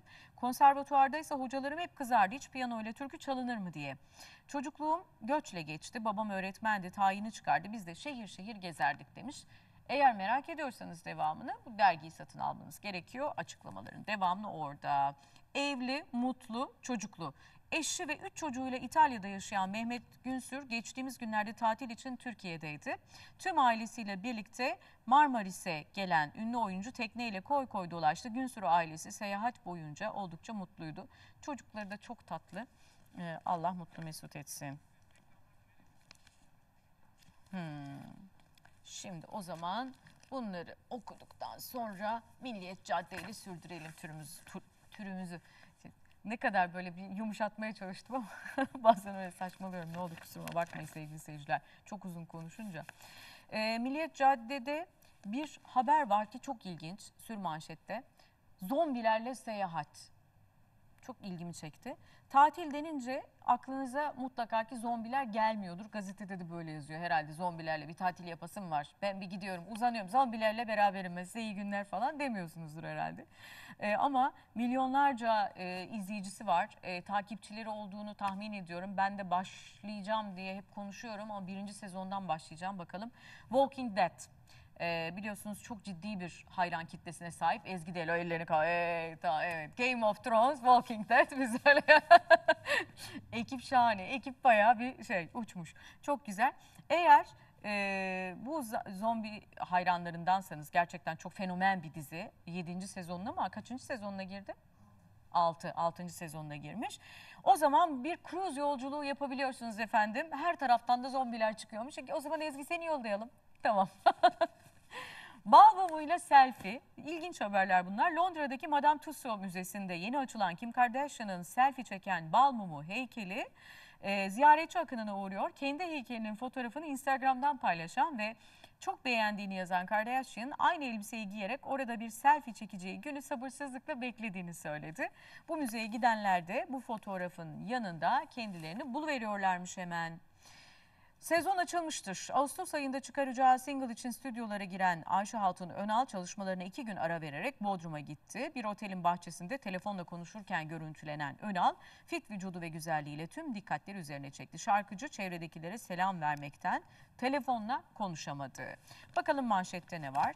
Tarkan Gürel'in sandığını açtı. Yeni albümü için şarkı arayışında olan Tarkan, Aysel Gürel'in gün yüzüne çıkmamış sözlerinin bulunduğu sandığı açtı. Megastar sözlerden birini besteleyecek ve seslendirecek. Bakalım ortaya nasıl şahane bir şarkı çıkacak. Adımı Kalbine Yaz albümünü 5 yıl önce çıkaran Tarkan, şimdilerde tamamen yeni şarkılardan oluşan iddialı bir albüm hazırlığında. Albümü belli bir tarihe yetiştirmek için acelesi olmayan Megastar, Yine yol arkadaşı Ozan Çolakoğlu ile işbirliği yapıyor. Ee, şu anda Avrupa'da tatilde olan sanatçı hem dinleniyor hem de harıl harıl yeni şarkılar üzerine çalışıyor. Çok yakında Tarkan severler yani hepimiz yani tüm Türkiye olarak yeni Tarkan şarkılarıyla buluşacağız sanıyorum. Denize daldı zincirini buldu. Tatilini Bodrum'da geçiren Senem Kuyucuoğlu önceki gün bir beach'teydi. Manken denize girdiği sırada babasından yadigar olduğu öğrenilen zincirini kaybetti. İskelenin altına giren bir dalgıç gibi suya dalan Kuyucuoğlu uzun uğraşlar sonucu zincirini bulmuş. Ee, Özge'nin yeni aşkı. Ee, boşanmaları da olay olmuştu. Evlilikleri de çok konuşulmuştu. Özge Borak ve Ata Demirer biliyorsunuz. 8 ay önce Ata Demirer'den boşanan Özge Borak bir aydır Berkay Tahmaz'la birlikte sevgilisiyle Kaş'ta e, paragliding yapan Borak ilişkimiz çok yeni dedi. E, Instagram hesabından da fotoğrafı paylaştığı için tabii ki hemen renkli dünyanın gündemine bomba gibi düştü. Özge Borak da yeni sevgilisi. Tığ gibi. Mide ameliyatı olduktan sonra 30 kilo veren Fatih Ürek önceki gün havalimanında objektiflere takıldı. Kendini kuş gibi hissettiğini söyleyen şarkıcı yıllarca kilomla mücadele ettim. Ayrıca diyabet hastasıyım, şeker diye bir şey kalmadı. Yeni halimle çok mutluyum, kas yapmaya başlayacağım. Seneye baklavalarımı görürsünüz dedi. Hadi inşallah diyelim o zaman biz de. Tatil bitti, iş zamanı. Bülent İnal önceki gün eşi Melis, oğlu Çınar ve kayınvalidesi Reyhan Tüysüz'le İstinye Park'ta objektiflere kat- e, takıldı. Al- alışverişe çıkan ve ardından ailecek yemek yiyen oyuncu Bodrum tatilimiz buraya kadar da artık çalışma zamanı yeni projelerin görüşmeleri var. Ondan dolayı da tatilimizi erken sonlandırdık dedi. Evet Milliyet Gazetesi, Cadde Gazetesi e, oldukça renkli haber başlıklarıyla buluşturmuş oldu bizi sevgili seyirciler. Sözcünün şık ekine geçiyoruz. Ee, Türk çayına şarkılı destek. Çayın hayatımızdaki yerini dile getirmek için yazdığı şarkısına Ali Bilgin tarafından e, bir klip çekilmiş Sezen Aksu'nun. Gelin siz de el verin, destek verin, eksik olmayın sözleriyle herkesi çay tarımına destek olmaya çağırdı. Türkiye gerçekten e, çayın çok fazla içildiği, siyah çay tüketiminin çok yoğun olduğu bir ülke. E, o yüzden de Sezen Aksu bu konuda bir çalışma yapmış. Havada aşk varmış efendim. Havada aşk bir tanesi e, Özge Burak'tan bahsediyoruz tabii. E, yine bu tabii ki Şık Gazetesi de aynı haberi vermiş. Instagram hesabından paylaşılan bu uçtu uçtu haberi e, Kaş'ta tatil yapan iki sevgilinin de gündeme taşınmasına sebep oldu. Aşkımla boğulursunuz. Sosyetik güzel Eda Taşpınar e, Mikanos'tan paylaştığı fotoğrafın altına benim aşkım derin boğulursunuz dedi. Yaklaşık bir aydır Yunanistan'ın ünlü tatil beldesi Mikanos'ta deniz ve güneşin tadını çıkaran Eda Taşpınar paylaşımlarıyla ilginç mesajlar veriyor. Taşpınar son olarak paylaştığı fotoğrafın altına İngilizce benim aşkım derin bazı insanlar boğulur diğerine ise yüzme öğrenir ama ben hepsinin hayatını kurtaramam yazdı. Eda Taşpınar'ın çok da şahane TVM ekranlarında bir programı var biliyorsunuz. Moda deyince, e, stil denince akla ilk gelen isimlerden biri. Cici Anne ile Bodrum tatili. Bir süredir ünlü müzik adamı Ercan Saatçi ile aşk yaşadığı bilinen Sema Öztürk geçtiğimiz gün sevgilisinin kızıyla alışverişe çıktı ve bu şekilde de objektiflere yansımışlar. Ee, oyuncu Sema Öztürk ile müzik adamı Ercan Saatçı'nın aşkı kısa süre önce başladı. Henüz birlikte fotoğrafları çekilmeyen iki aşık basından köşe bucak kaçıyorlar. Bir aşk, e, bu aşkın da en büyük belgesi önceki akşam Türkbükü sahilinde çekilmiş. Ercan Saatçı'ya eski eşi Gülsüm'ün, e, Gülümsün Özkök'ün biricik kızları Zeynep Saatçı ve Sema Öztürk birlikte alışveriş yaparken görüntülenmişler. Bir klip yorgunu varmış efendim ortada. E, klip yorgunu da Serdar Ortaç, Hande Yener'in yeni e, açtığı Beach'te yorgunluk atıyormuş. Serdar Ortaç eşi Chloe Logan'la birlikte Bodrum tatiline devam ediyor. Geçtiğimiz günlerde Bodrum'da klip çekmiş e, ünlü popçu. Klip yorgunluğunu da önceki gün Hande Yener'in sahibi olduğu Beach'te atmış. Ortaç denize girmek yerine gölgede oturup dinlenmiş efendim. Merak ediyorsanız Çeşme'de, Bodrum'da artık bu merkezler e, bayramla birlikte daha da dolacak sanıyorum. İşte ünlülerimiz de Bodrum ve Çeşme sahillerinde böyle geziyorlar. Ananas aşermiş. Kim? Sevgili Petek Dinçöz. Allah sağlıkla evladını kucağına almayı nasip etsin diyelim. Hamileliğinin 8. ayına giren Petek Dinçöz geçtiğimiz gün sosyal medya hesabından ilginç bir fotoğraf paylaştı. Bir alışveriş arabası dolusu ananasın önünde fotoğraf çektiren Dinçöz, ananası aşerdim yazdı. Fotoğrafın altına açıklama yazmayı da ihmal etmeyen şarkıcı şaka şaka sadece iki dilim her şeyin fazlası zarar diye de not düşmüş efendim. Bakıyoruz. Ee, cumartesi postası. Evet burada cumartesi postası. Bu takılar şifalı. Eski manken Sinem Güven mücevher tasarlıyor efendim. Sinem Güven kullandığı taşları önce enerji uzmanlarına temizlettiriyor. Olumsuz enerjiden temizlenen taşlara aşk, mutluluk, bereket, sağlık konularında pozitif enerji yükleniyor. Ardından taşlar tasarlanıp satışa sunuluyor. Ama buradan bir uyarı yapalım. Doğal taşlar belli periyotlarla mutlaka temizlenmeli. Geçen hafta Zehra Korumaz'ı almıştık e, aramıza. Anlatmıştı. Doğal taşlar gerçekten çok e, yoğun enerjileri olan e, taşlar. Fakat tabii ki bizim olumsuz ve negatif duygularımızla da çok çabuk kirlenebiliyor. Ben de mesela elimde mutlaka doğal taşımı, kaplan gözü e, tutuyorum. Veyahut da işte benim burcumun taşı ay taşı bu tip taşlar tutuyorum ama bunları belli periyotlarla akan su altında e, kendi olumlamalarınızı, kendi niyetinizi temizlemeniz mutlaka ki gerekli. Bu uyarıyı da yapmış olalım. Timsah avcısı unvanlı Avustralyalı belgeselci Steve Irwin 2006'da vatoz sokması sonucu ölmüştü hatırlarsanız. e, böyle yılanlara giderdi kendini soktururdu falan. Çok nevi şahsına münhasır ilginç bir e, insandı. Hepimize belgeseli, ormanları, hayvanları, vahşi ve doğayı sevdiren bir isimdi ama hayatını kaybetti. Peki Steve Irwin'in tahtına kim geçiyor? Türk belgeselci Tuna Güzelyurt oturmuş. Dene Bakalım adlı belgeseli hazırlayıp sunan Tuna Güzelyurt eliyle vatoz besliyor, yılanlarla dolu kafese giriyor, aslanlarla sarmaş dolaş oluyor. Türk belgeselcinin hedefi timsah avcısı unvanını almak. İnşallah olur. 17 yıl geçti, hiç değişmedi. Top model Naomi Campbell 45 yaşında. Geçtiğimiz günlerde katıldığı bir davette eee, çok ünlü bir dünya markasının kıyafetini giyiyor. Çok beğenilmiş. İlginç olan şu ki bu kıyafeti ilk kez 17 yıl önce 28 yaşındayken şu anda fotoğrafı görebiliyorsunuz sevgili seyirciler. Yan yana iki fotoğraf var sol tarafta Eee, ve o fotoğrafların hiç birbirinden farkı yok gibi göreceksiniz.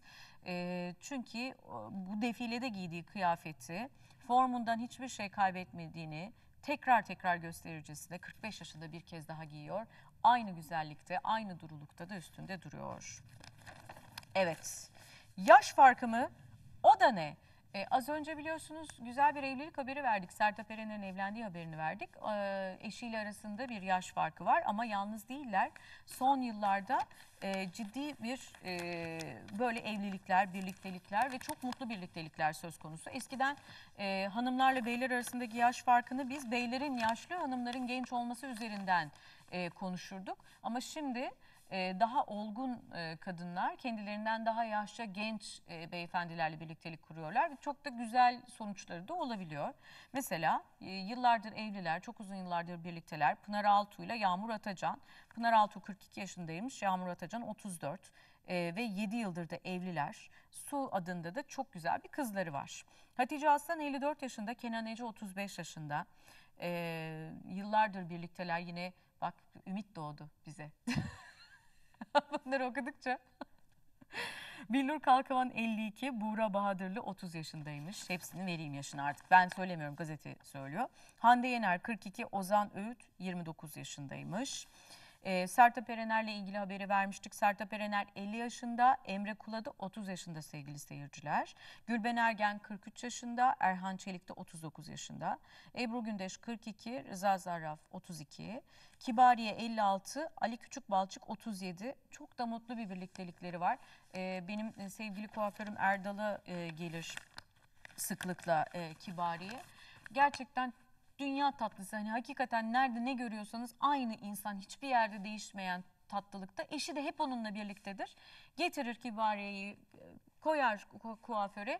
İşi varsa işini halleder. Değilse o da orada oturur sohbet eder Erdal'la. Ondan sonra devam ederler hayatlarında. Kızları da öyle çok tatlı. Çok doğal, çok samimi insanlar.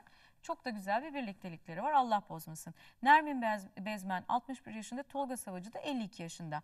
İşte eee, böyle ilginç bir başlıkla eee, Cumartesi postası son yıllarda yaşanan bu yaş farkı olan evlilikleri. Kaldı ki yurt dışında zaten çok fazla örneği var biliyorsunuz. Jennifer Lopez, Madonna hatta bu konuda sosyal medyada epey e, enteresan komiklikte paylaşımlar olmuştu.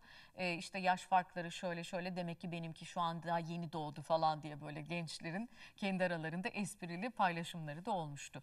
Kelebekle devam ediyoruz sevgili seyirciler. Suda yoga, kelebekte sürmanşet, spor tutkunu, sunucu arkadaşımız Ece Vahapoğlu, sörf tahtası üzerinde yapılan son dönemde Amerika'da popüler haline gelen sup yoganın e, meraklısı olmuş. Vahapoğlu Bodrum tatilinde e, suda yoga yaparken de poz vermiş, fotoğrafı da yansıdı. Gerçekten e, o da çok güzel. Bu konuda da hiç durmadan e, spora gönül vermiş isimlerden biri. Beraber kutlayalım. Sibel Can doğum gününü kutlayacağı 1 Ağustos'ta Harbiye Açık Hava Tiyatrosu'nda sahneye çıkacak. Herkesi doğum günümü beraber kutlamaya davet ediyorum. Müzik ve eğlence dolu bir gece yaşayacağız diyor. Çıkalım gidelim o zaman madem davet etmiş. Biz de bu davete icabet ederiz. Daha 3 aylık anayım ben. 3 aylık bebeğinin babası Serkan Uçar'ın kendisine şiddet uyguladığı ve ölümle tehdit ettiği iddiasıyla mahkemeye başvuran Ece Erken, Ayşe Aral'a mektup yazdı.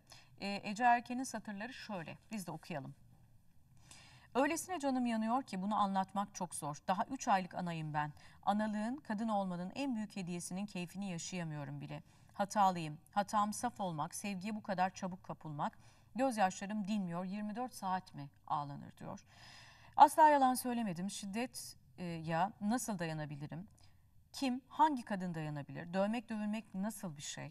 Kadınım, anayım hem de yeni ana. Ne olur artık beni herkes rahat bıraksın biraz. Oğlum babasını her gün görmeden büyüyecek diye ağlıyorum ben. Hasta ruhlu muyum ki bunları kendime ve başkalarına yaşatıyorum. Ee, ergen diye beni aşağıladı. Ece Erken'den boşanmak için dava açan Serkan Uçar'ı mahkemeye sunduğu dilekçede ilginç iddialar yer aldı. Erken'den 11 yaş küçük olan Uçar, eşinin kendisini ergen diye aşağıladığını ve sadece çocuk yapmış olmak için evlendiğini öne sürdü. Serkan Uçar, e, Uçar, Ece Erken'in basına yaptığı açıklamaları da dava dilekçesine ekledi. Dilekçede Erken'in e, şu sözleri de yer aldı. Çocuk yapmak çok ciddi bir iş. Evlenmeden önce annem ve babam o kadar çok torun istiyorlardı ki e, git sperm bankasından alıp yap bile dediler. Çocuk için evlendik. Eee bilemiyorum çocuk için evlenmek yani çocuk sahibi olmak çok güzel bir şey ama e, gönül istiyor ki e, o evladı da boşansanız dahi sağlıklı görüştüğünüz, e, hayatınızda daimi tutabildiğiniz, e, bir arada olabileceğiniz insandan doğurun. Yani bunun mümkünlüğü için geçen haftalarda biliyorsunuz e, uzman klinik psikolog e, sevgili Yeşim'i ağırlamıştık. Ee, arkasından da geçen hafta sevgili hocamız e, Profesör Doktor Kerem Doksat bizimle birlikteydi. Hep aynı şeyi söylüyoruz. Evlilik çok ciddi bir iş. Hatta dalgasını geçtik. Biraz espri yaptık üzerine. Ben dedim ki hocam ehliyete bağlanmalı evlilik diye. Bu haberleri okudukça aslında biraz daha insan buna inanmaya başlıyor. Ciddi anlamda insanların psikolojik olarak da birbirlerine uyum sağlayıp sağlamadığı belki de test edilmeli. Ee, bu kadar çok boşanmanın yaşandığı e, son yıllarda hem dünyada hem ülkemizde. Boşanmak da tabii ki Allah'tan nasıl sevgiyle insanlar evleniyorlarsa anlaşamadıkları için boşanabilirler. Ama boşandıktan sonra e, sadece karı kocalıktan boşanıldığını, ebeveyn olmaktan hep Gülben Ergen söyler ebeveynlikten boşanılmıyor diye. O e, anneye, o babaya her zaman annelik babalık görevi düşüyor ve bir arada da olmak zorundayız. Bunu da söylemek lazım. Çünkü ben de boşandığım için ve eski eşimle de medeni bir ilişki sürdürebildiğimiz, bir araya gelip evladımız için aynı sofrada yemek yiyip sohbet edebildiğimiz için e, bu konuda ahkam kesebiliyorum. E, inşallah da ömrümüzün sonuna kadar da böyle olur. Her çift için. E, efendim, Özülkü çiftinden şarkılı mekan haberini de aktarayım.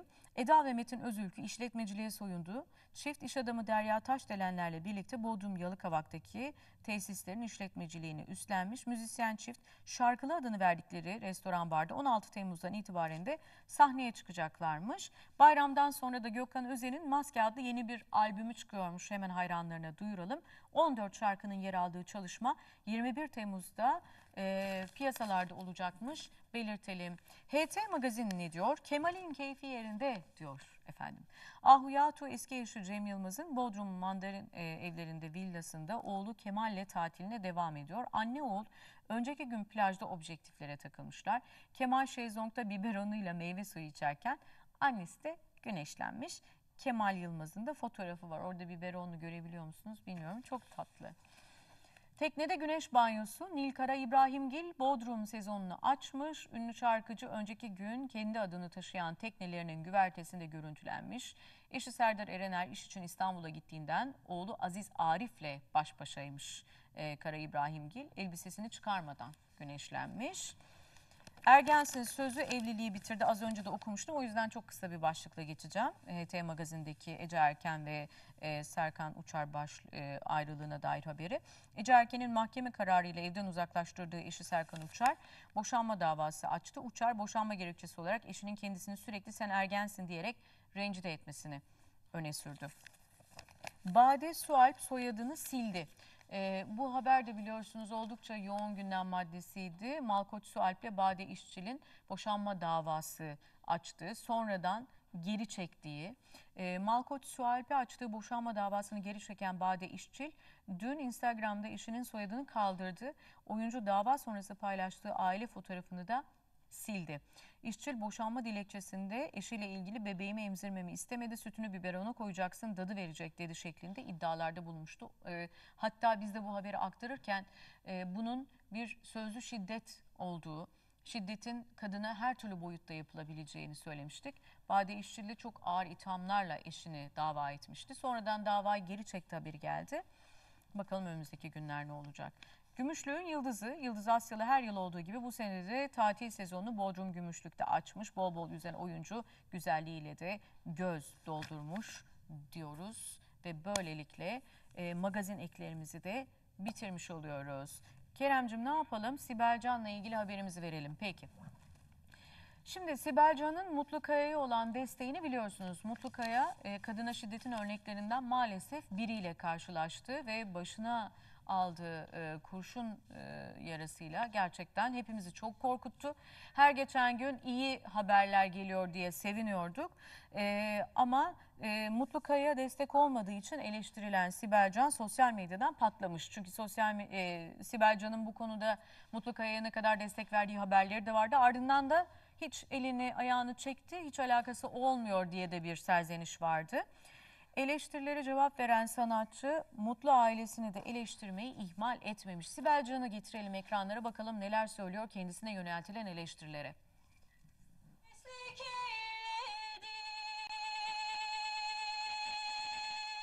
Türkiye Mutlu Kaya'yı katıldığı yarışma programıyla tanıdı. Mutlu Kaya 19 yaşında. Genç kız 18 Mayıs'ta Diyarbakır'ın Ergani ilçesindeki evinde silahlı saldırıya uğradı. Erkek arkadaşı tarafından başından vuruldu. ölümle mücadelesini tam 38 gün sonra kazandı. Dünyalar benim oldu. En güzel haberi ben aldım, sevindim. Mutlu Kaya uyandıktan sonra annesi Hanım Kaya söz verenlerin artık sözlerini tutma zamanı dedi. Çünkü hastaneye ödeyecekleri paraları yoktu. O süreç gelsin. O süreç geldi. Herkes sözün arkasında olsun. Buraya gelenler bana o verdiği sözleri yerine getirsin. Genç kız tedavisinin devamı için Gata'ya sevk edildi. Bütün bu dönem içinde Sibel Can Mutlu'ya destek olmadığı için eleştirilere maruz kalmıştı. Sibel Can sonunda sessizliğini bozdu. Mutlu Kaya'nın Gata'ya sevki sırasında çekilen bir fotoğrafını paylaştı. Altına da şunları ekledi. Daha yolun başındasın güzel mutlu. Her şey senin cennet gözlerin gibi güzel olacak. Yüreğinin büyüklüğü kadar yardım et ve sus. Sus. Susabilmek öyle bir erdemdir ki son sözü söyleyen sen olsan da sadece sen bil ve kendine fısılda. Sibel Can ayrıca bırak seni kim nasıl bilirse bilsin. Yüreğince insan ol ve insan olabilmenin erdemini yüreğinde yaşa yazdı. Umarım her şey istediğim gibi olur. Sibel Can'ın açıklamaları böyleydi sevgili seyirciler. Şimdi yavaş yavaş artık konuklarımız stüdyoya gelmeye başladı. İstiyoruz ki sizi e, bugün e, hem sohbet sohbetimizi neşelendirelim, biraz bilgilendirelim, biraz eğlendirelim, keyiflendirelim. Tüm bu sohbetler boyunca et Pinar Erguner hesabımdan ki çok güzel yorumlar yazıyorsunuz. Sonsuz teşekkürler ederim. E, hepsini okumaya çalışacağım. E, Venüs demiş ki iyi yayınlar olsun dileriz. Böyle yapmış. Biz de iyi yayınlar dileriz. Teşekkür ederim. E, Gray Acik. Şimdi nasıl artık öyle koymuşsunuz isminizi.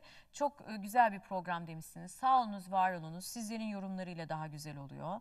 E, Bonbon demiş ki çok sevindim sizi gördüğüme. E, başarılar demiş. Çok teşekkür ediyorum. Sağ olunuz efendim. Siz yanımızda olduğu zaman biz çok mutlu oluyoruz. Ama çok güzel konuklarımız var. Bakınız kimler. Ardından bir dakikalık kısacık bir moda olacak. Ben konuklarımla burada sizi karşılıyor olacağım. Bekliyoruz efendim.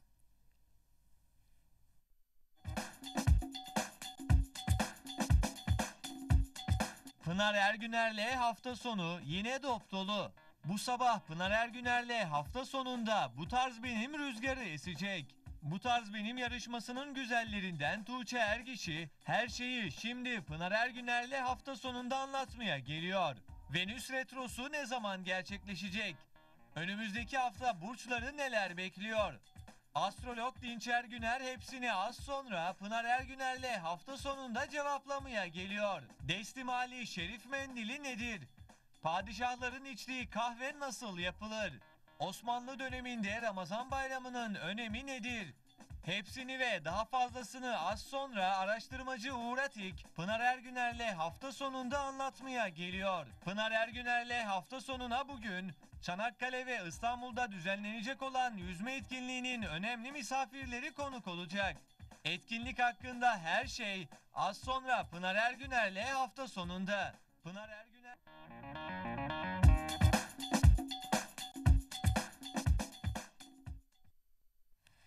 Efendim e, Boğaz'ın serin sularında yüzme keyfine e, ulaşmak pek mümkün değil.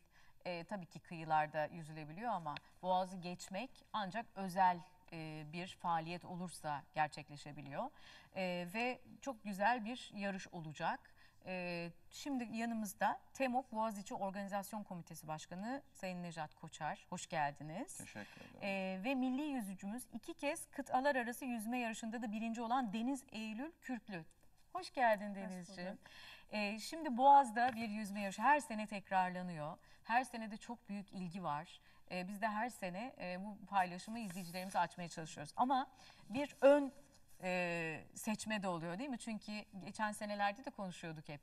E, çok e, meşakkatli bir e, yer Boğaz'da yüzmek. Yani öyle sanıldığı gibi de akıntıları çok fazla olan, Mücadelesi yüksek. mücadelesi çok yüksek. Dolayısıyla e, sağlık durumunun ve tabii ki diğer sporcuları da e, olumsuz koşullara itmemek için katılabilecek olan herkesin belli şartlara haiz olması gerekiyor sanıyorum değil mi Necat Bey? Özellikle, özellikle sağlık raporu ve e, belirli bir mesafeyi bu mücadele içerisinde belirli bir mesafeyi belirli sürelerde yüzebilecek elit sporcuları ya da spor yapmış olanları tercih ediyoruz. Seçmek zorundayız. Aksi takdirde güvenlik ve sağlık bizim için önemli. Değil mi? Sıkıntılar yaşanabiliyor. E, şimdi geçen seneden nasıl hatıralar oldu? Ee, geriye dönüşler son derece olumlu, son derece büyük ve uluslararası bir yarış olması Tabii. nedeniyle de dünya sıralamasında 6. sırada yer alıyor. Boğaziçi kıtalar arası yüzme yarışı. Hı hı. Ee, malum diğer Manş'ı geçmek ya da Süveyş'i geçmek ya da kanalları geçmek belirli bir ana karanın içerisindeki geçişler. Tabii. Ancak burada tam farklı Kıtalar iki arası. tane kıta. Birisinde Tabii. Asya'dan başlıyorsunuz, Avrupa'ya geçiyorsunuz. Bu da dolayısıyla daha fazla bir önem katıyor. Daha fazla bir ehemmiyet katıyor. Bu bakımdan da bize geriye dönüşleri oldukça yüksek ve bunun da yüksek olduğunun en güzel belirtisi bu sene seçmeler başlamadan önceki bize kayıtları kapattığımız zamanki sayı 3000'leri bulmuştu. Oo. Ulusal ve uluslararası olmak üzere. Görüyoruz bir yandan da görüntüleri. Oraya da bakıyorum. Gerçekten e, çok güzel aslında renkli görüntüler bir o kadar da zor. Şimdi bu sene kaç kişi mücadele ediyor olacak? 1890 kişiyle artık kapattık sayıyı. 1890 kişi yüzdüreceğiz. Bunun e, 1000 e, küsuru Türk, 800 küsür tanesi de yabancı ve dünyanın değişik ülkelerinden 49 değişik ülkesinden katılım var. Hı hı. Peki e, şimdi orada bir yandan görüyoruz ama e, katılmamış olanlar veya başka şehirlerde olanlar belki ilk defa bu yarışın farkındadırlar. Hani o yüzden bu 1800 kişiden bahsediyoruz Necat Bey. Nasıl bir sistemle denize giriyorlar? Yani çok zor çünkü Evet, bir anda e, hani ne kadar o zaman hani arkadan gelenlerin şansı nasıl olacak? 11 11 değişik yaş kategorisine ayırdık ve bunları dolayısıyla bone renkleriyle tespit ediyoruz. Biz bunları biliyoruz ve ayaklarında da elektronik çipler var. Hı hı. Çiplerle sürelerini tespit etmek ve kategorilerini ayır, ayırtmak mümkün. Mümkün. Bu bakımdan bizim yapmış olduğumuz seçmelerde Türkiye'deki değişik ülkelerde, Adana e, illerde, Adana'da, İzmir'de ve İstanbul'da yaptığımız seçmeler neticesinde tespit ettiğimiz yerli Türk e, yüzücülerimizle beraber e, yurt dışından gelenleri de büyük bir e, yolcu gemisinin içerisine, bizim e, şehir hatları gemisinin içerisine e, bindiriyoruz ve e, start mevkiine gönderiyoruz. Hı hı. Start mevkiine çıktıklarında da elektronik bir platformun üzerinden, bir platformun elektronik bir halının üzerinden geçerekten startı verdiğimizde ilk sesi duyduklarında birlikte görüntülerde de görüldüğü Hı hı, gibi evet. birlikte suya giriyorlar. Bizim e, buradaki sadece yüzücülerle ilgili değil, buradaki e, festival havası, buradaki coşku, buradaki heyecan, buradaki Dostluk. uluslararası katılım, barış, dostluk, bütün e, olimpik ilkelerin, olimpiyat ilkelerinin hepsini vermeye gayret ediyoruz. Böyle bir organizasyondan. Yarışın ne zaman olacağını da hatırlatalım. Temmuz İzlemek isteyenler 26 olacaktır. Temmuz'da e, yarışımız start alıyor saat 10'da. E, 25 Temmuz'da ise e, uluslararası ünlü bir yarışçımız var e, Edin Walker. Onun bir tanıtımı var e, yine e, Cemil Topuzlu Parkı'nda. Orada e, yüzücülerimize parkuru tanıtacağız, kayıtlarını yapacağız, hazırlıklarımızı tamamlayacağız. 26'sında da start alacağız ki asıl coşkunun, asıl heyecanın olduğu günde 26 Temmuz. Ay ne kadar güzel ama şimdi denize dönmek istiyorum. Çünkü iki kez kıtalar arası şampiyonluk var. Ee, gerçekten nasıl hazırlandığını öncelikle merak ediyorum. Ama hemen arkasından yüzerkenki yaşadıklarını da sormak istiyorum. Yani o kadar insanla birlikte mücadele ediyorsun. Sürekli arkanda biri var. Yani o çok enteresan Birileri bir hatta. Birileri yani. Birileri hatta var. biri de değil birileri var. Ve e, bir havuz gibi e, insan ortamı değil tamamen doğal akıntıların ve gerçekten hani mücadelenin çok yoğun olduğu bir yerde yarışıyorsun. E, Nasıl hazırlanıyorsun? Ne yiyorsun, ne içiyorsun da başlayalım sonra yarış gününe gelelim. Ee, normal yarışıma nasıl hazırlanıyorsam havuz yarışlarına Boğaz Maratonu'na aynı o şekilde hazırlanıyorum. Ee, aslında benim en çok istediğim ben Boğaz'da böyle serin su sularına bırakıp böyle dinlene dinlene yüzmek Ha, olmuyor istiyorum tabii ama öyle. evet çok kalabalığız ve e, bir yarış hırsı olduğu için Tabii. her sene tabii ki azimli bir şekilde katılıyorum. Ee, benim için çok eşsiz bir deneyim, çok keyifli. Ee, ne, ne, ne, ne yediğime, ne içtiğime gelirsek tabii ki her zaman gibi karbonhidrat yüklemesine giriyorum yarıştan Tabii önce. enerji lazım çünkü. Aynen öyle. Ee, onun dışında şimdi Boğaz Maratonu çok farklı. Havuz yarışı gibi değil. Herkesin belirli bir kulvarı yok. Hı hı. Herkes aynı anda atlıyor ve sadece yarışa odaklanamıyorsun. Etrafındaki insanlarla çarpmamaya vesaire dikkat ediyorum elimden geldiğince. Evet o çok zor değil mi Denizciğim? Yani Necat Bey geçen sene de onu sordum size. Yani Kulaç atıyorsunuz. Evet bir izdiham var yani öyle e, kulvarlar yok ki. Açık bir alanda yüzüyorsunuz sonuçta. Eli- elit sporcularımız e, Eylül de bilir ki elit sporcularımız zaten kendisini gösteriyor. Hı hı. Kolaylıkla çıkıyorlar ve o parkuru, o kulvarı çok rahatlıkla bulabiliyorlar. Kendilerini rahat yüzebilecek e, ortamı yaratabiliyorlar. Ancak e, asıl amaç da söylediğiniz gibi yarıştan ziyade e, Eylül'ün de bahsettiği gibi o serin sular, e, Evet. İstanbul'un doğası, Doğası. İstanbul'un tarihi, e, Zaten öyle İstanbul'un- oluyor değil mi? Yani Evet. o artık bir, bir bakıyorsunuz ki Seyir- birinciler belli.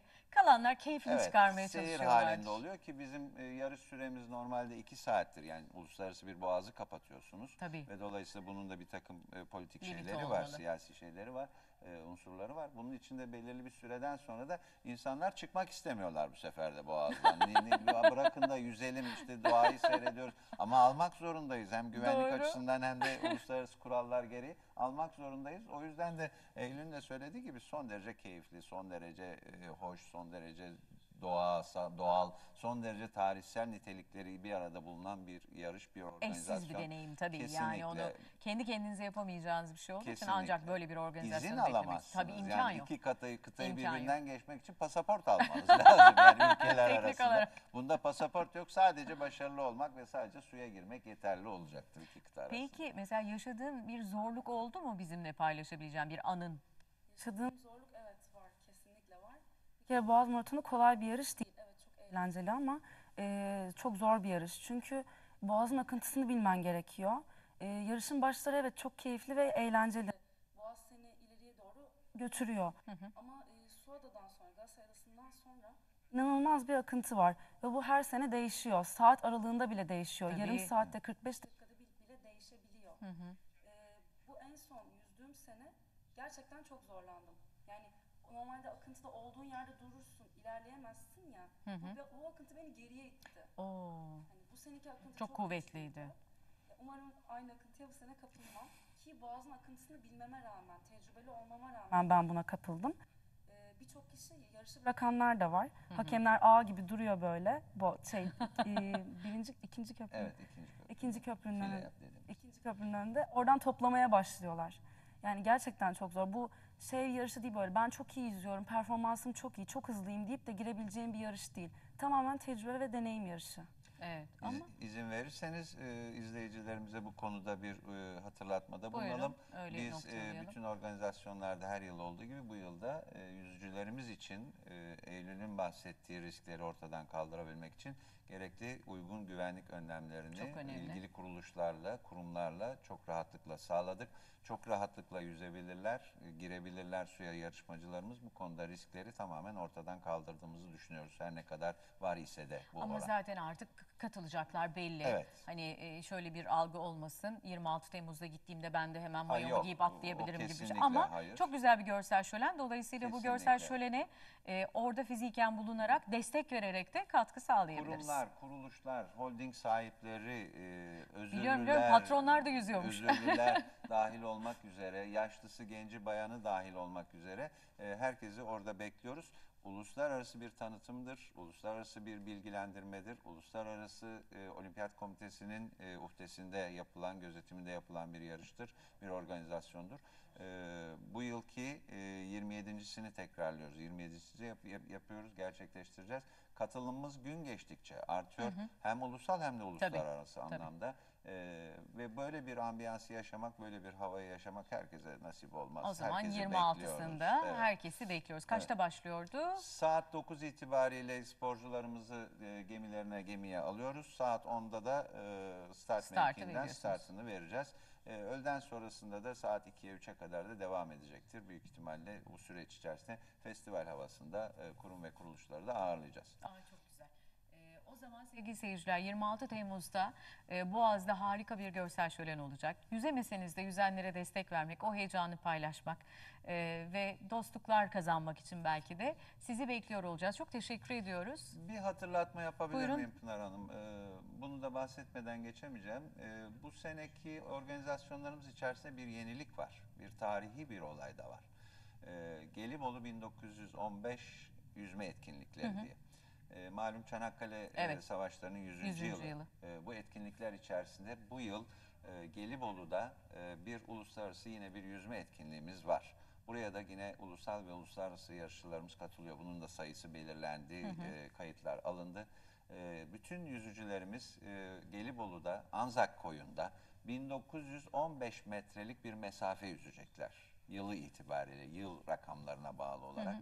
E, bu organizasyonda da Anzak dahil olmak, Avustralyalılar dahil olmak üzere katılımlarımız var. E, Gelibolu'nda da Çanakkale Zaferi'nin 100. yılı münasebetiyle düzenlemiş olduğumuz bu organizasyonda Gelibolu'nda gerçekleştireceğiz 1 Ağustos'ta. 1 Ağustos'ta. 1 Ağustos'ta gerçekleştiriyoruz. Hemen akabinde de o organizasyonun akabinde de yine dostluk, yine barış, yine insanlık, yine herkes için spor bağlamında e, Antakya e, Uluslararası Antakya e, konserleri, Antakya grubunun bir konseri var. E, Medeniyetler Korosu'nun bir konseri var. E, bu da dolayısıyla bunu tamamlayıcı bir unsur olarak e, değerlendireceğiz. E, izleyicilerimizin bilgilerine sunuyoruz efendim. sporu, kültürü harmanladığınız çok güzel bir Evet. takvim var önümüzde anladığım kadarıyla. Sevenlere duyurmuş olduk. Çok teşekkür ediyoruz. teşekkür. Başarılar diliyoruz. Deniz'cim e, ben Deniz diyorum ama Eylül diyor Nejat Bey sana. Öyle aramızda bölüştük. Deniz Eylül. Başarıların devamını diliyoruz. İnşallah bu sene de bir birincilik alırsın diyeceğim ama hep sen birinci olursan başkaları da birinci olamaz. Olsun biraz da paylaş o zaman. Çok teşekkür ediyoruz. Ben teşekkür ederim. Ee, sevgili seyirciler haftanın filmlerine bakalım mı? Ardından ben burada görüyorum Dinçer Bey hazır, mıyız? Bu Venüs ne yaptı? Siz ne bu retrolardan bıktık biz, mahvolduk. Yedi bitirdi bizi. Merak ettiğiniz her türlü soruyu Dinçer Bey'e sorabileceksiniz. Çok e, gerçekten konusunda çok uzman bir astrolog Dinçer Güner. Bugün bizimle olduğu için de çok mutluyuz. Hadi o zaman haftanın filmlerini izleyelim. Sorularınızı hazırlayın. Parmaklar çok hemen hazırlansın ve Twitter'dan bize ulaşabilirsiniz diyoruz. Az sonra birlikteyiz.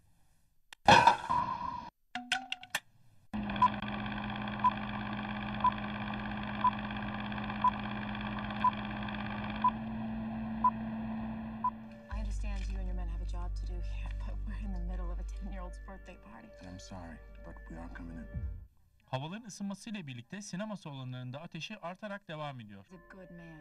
Don't mistake his honesty for weakness. A Most Violent Year 1981 yılının kışında New York'ta geçen gerilim dolu hikayede göçmen bir ailenin yaşamına odaklanıyor. New York şehri tarihinin en çetin dönemini geçirirken New York'a yerleşen Ana ve Abel Morales çifti karşılarına çıkan fırsatları değerlendirip bir yandan işlerini büyütürken diğer yandan şehrin yolsuzluk, şiddet ve suç sarmalında ayakta kalmaya çalışmaktadırlar. Filmin yönetmenliğini ve senaristliğini J.C. Chandor üstlenirken kadroda Oscar Isaac, Jessica Chastain, David Oyelowo, Alessandro Nivola gibi isimler yer alıyor. It's been two years since you started investigating my industry. Do you have any idea who's been doing this to us? Or you may be doing something to bring this on yourself. I have always taken the path that is most right. The result is never in question for me. Tam olarak neler olduğunu hatırlamıyorum. Sakın oraya gitme. Haftanın Türk filmlerinden olan Antikacı Ertan'ın hikayesine odaklanıyor. Ertan ailesinin içinde yaşanan kıskançlık oyunlarının büyük bir trajediye dönüşmesiyle intihara teşebbüs eder. Ertan komaya girer ve bir ambulans içerisinde hastaneye yetiştirilmektedir. Bu yolculuk esnasında ise bir başka sıra dışı yolculuğa adım atar. Belirli belirsiz gördüğü kişiler hayal meyal duyduğu sesler ile birlikte bilinç altında bir yolculuğa çıkar. Hollywood yapımlarında da rol alan Meleğin Sırları filminin yönetmeni Acılan Büyük Türkoğlu'nun senaryosunu yazıp yönetmenliğini üstlendiği gerilim türündeki filmin başlıca rollerinde Ertan Güleç, Didem Baylan, Övül Kocaman ve Tuna Ata bulunuyor.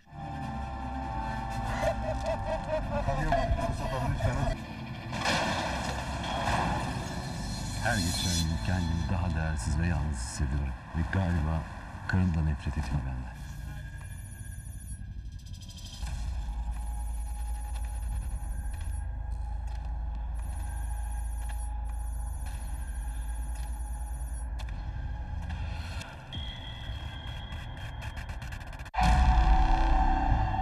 There is no science. No progress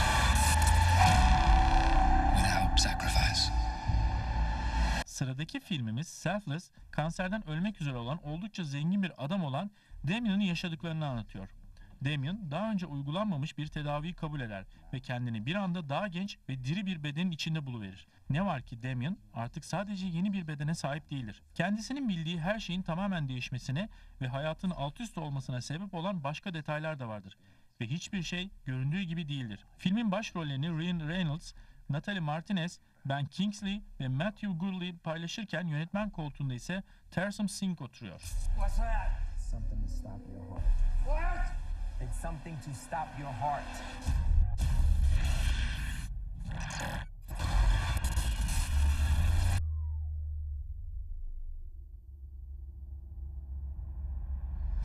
Ben, got a job here for you this morning. Guy wants to go out to the reach. Season, isn't it? Got himself a special exemption. Best tracker in the state. İmagine that. I can get it done. Sırada macera severlere özel bir film olan Tehlikeli Oyun var. Oyunu kurallarına göre oynayan zengin, gözü pek ve acımasız iş adamı Medek ve çölde avlanmak isteyenlere rehberlik hizmeti veren Ben'in yolları küçük bir av gezisinde kesişir. Her ikisi de bu ilginç ve çetin avcılık gezisi sayesinde Mojave çölüne taşınır ve esaslı kovalamacaya dönüşecek olan bu süreç için kollarını sıvarlar. Rob White'ın romanına uyarlanan filmin yönetmen koltuğunda oturan isim Jean Baptiste Lonet. Filmin başlıca rollerini ise Hannah Hagen Lawrence, Michael Douglas, Martin Palmer ve Jeremy Iron üstleniyor. Boy, did you blow this. This is gonna be 120 by noon, isn't it? Take off your clothes. Shoes and your socks. Come on, you're not gonna kill me. Okay, okay, okay, okay. This would be murder. No, no, no, no, no. I'm not killing you. I'm just gonna watch you die.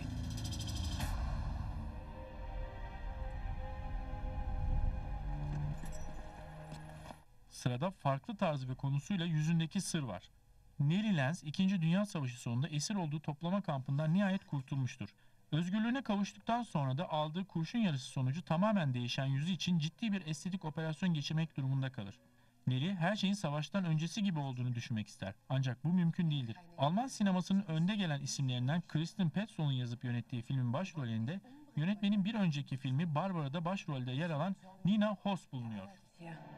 Where are the girls? Something is missing. Wir können Geld verdienen, viel Geld. Sie sehen jemandem sehr ähnlich.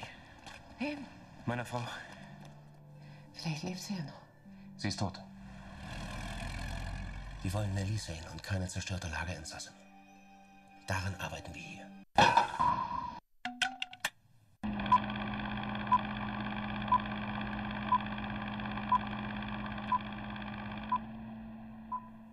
Evet, biz Dinçer'le yayına sosyal medya üzerinden yayına başladık bombardıman şeklinde. Bu arada merak ettiğimiz her şeyi Pinar Erguner maalesef şimdi Dinçer bakamayacağı için e, telefonuna benim üzerimden soruları iletmek zorundasınız. Açıklıyorum. Açıklamaz mı olaydım? Ne nedir bu retrolar? Mahvetti bizi. Bitmedi, bitmedi. Bitmedi, bitmedi. O, o geride, bu ileride falan. Ne Evet. oluyor? Ne oluyor? Ee, şimdi bu girilmiş o yani Temmuz ayı içerisinde e, önemli gökyüzü olayın olay- olaylarından bir tanesi Venüs'ün geri gidecek olması. Ee, Venüs bir buçuk yılda bir e, hızı yavaşlar. Hızı dünyanın hızına göre daha yavaş bir noktaya gelir. Hı hı. Biz dünyadan baktığımız için bize e, geri gidiyormuş gibi bir e, algı yaratır Hı bize hı. açıkçası. Ee, peki bu ne olur? Yani gücü düşüyor demektir Venüs'ün. Peki bu ne demek? Venüs'ün sembolize etmiş olduğu tüm konularla ilgili bir içe dönüş ya da e, bazı stresli koşullarla karşılaşma ve bir takım problemlerle e, yüzleşme anlamına gelir aslında. Hı hı. Ve Venüs Aslan Burcu'na girecek bu arada. Hı hı. Ve 40 gün sürecek bu. Hani bir Merkür Retrosu kadar işte 3 hafta e, sürecek olan bir e, durum İki değil hafta, bu. üç hafta Tam olunca 40 iyi gün. oluyor da.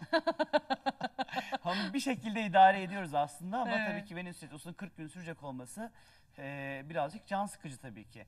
24 Temmuz'da başlayacak ve 9 Eylül'de sona erecek Aslan Burcu'nda. Peki bizleri neler bekliyor bu konuyla ilgili?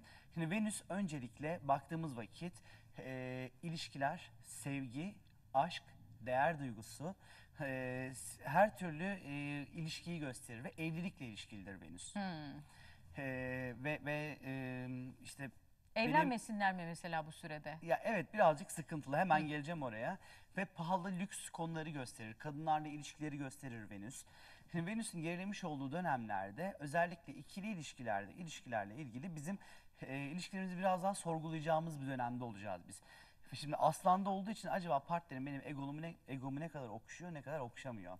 İste, hepimiz isteyeceğiz değil mi? Herkes egosu E, okşansın isteyecek. Ama biz e, eğer hayatta bir ego ile var olan ve sürekli karşı tarafın güzel sözleriyle kendimizi var eden bir insansak şayet Sıkıntı ve mı ilişkilerin eğer temel dinamiği buysa sürekli bir iltifat ve pohpohlanma hali ise demek ki bu ilişkiler birazcık hani e, Patlayacak. evet patlayacak bu ilişkiler. E, kuvvetli muhtemelen ayrılıklar gündeme gelecektir sık sık. Hmm. Yine bu Venüs'ün retro yapacağı bu dönem içerisinde özellikle Venüs'ün simgelemiş olduğu konulardan biraz uzak durmak gerekiyor. Nedir bu? Estetik. Hı hı. Eğer ki e, bir e, estetikle ilgili bir operasyon düşünüyorsak, işte kaşımızı kaldırtmak, burnumuzu yaptırtmak, işte basenlerimizi inceltmek için e, diyet yapabiliriz. Sıkıntı değil. Gerçi çok verim alamayacağız ama ya ne ya neden? yapıyoruz yapıyoruz kürek boşa mı Evet, gidiyor? bu- yani daha da bir boşa gider kürek. Allah'ım. Ee, her türlü estetikle ilgili konular için birazcık daha yani 9 Eylül ve sonrasında bırakmakta yarar var özellikle. Hele hele saçlarımızla ilgili. Çünkü Venüs aslan. Şimdi aslan burcu Saç. vücutta Tabii, saçları yele. gösterir.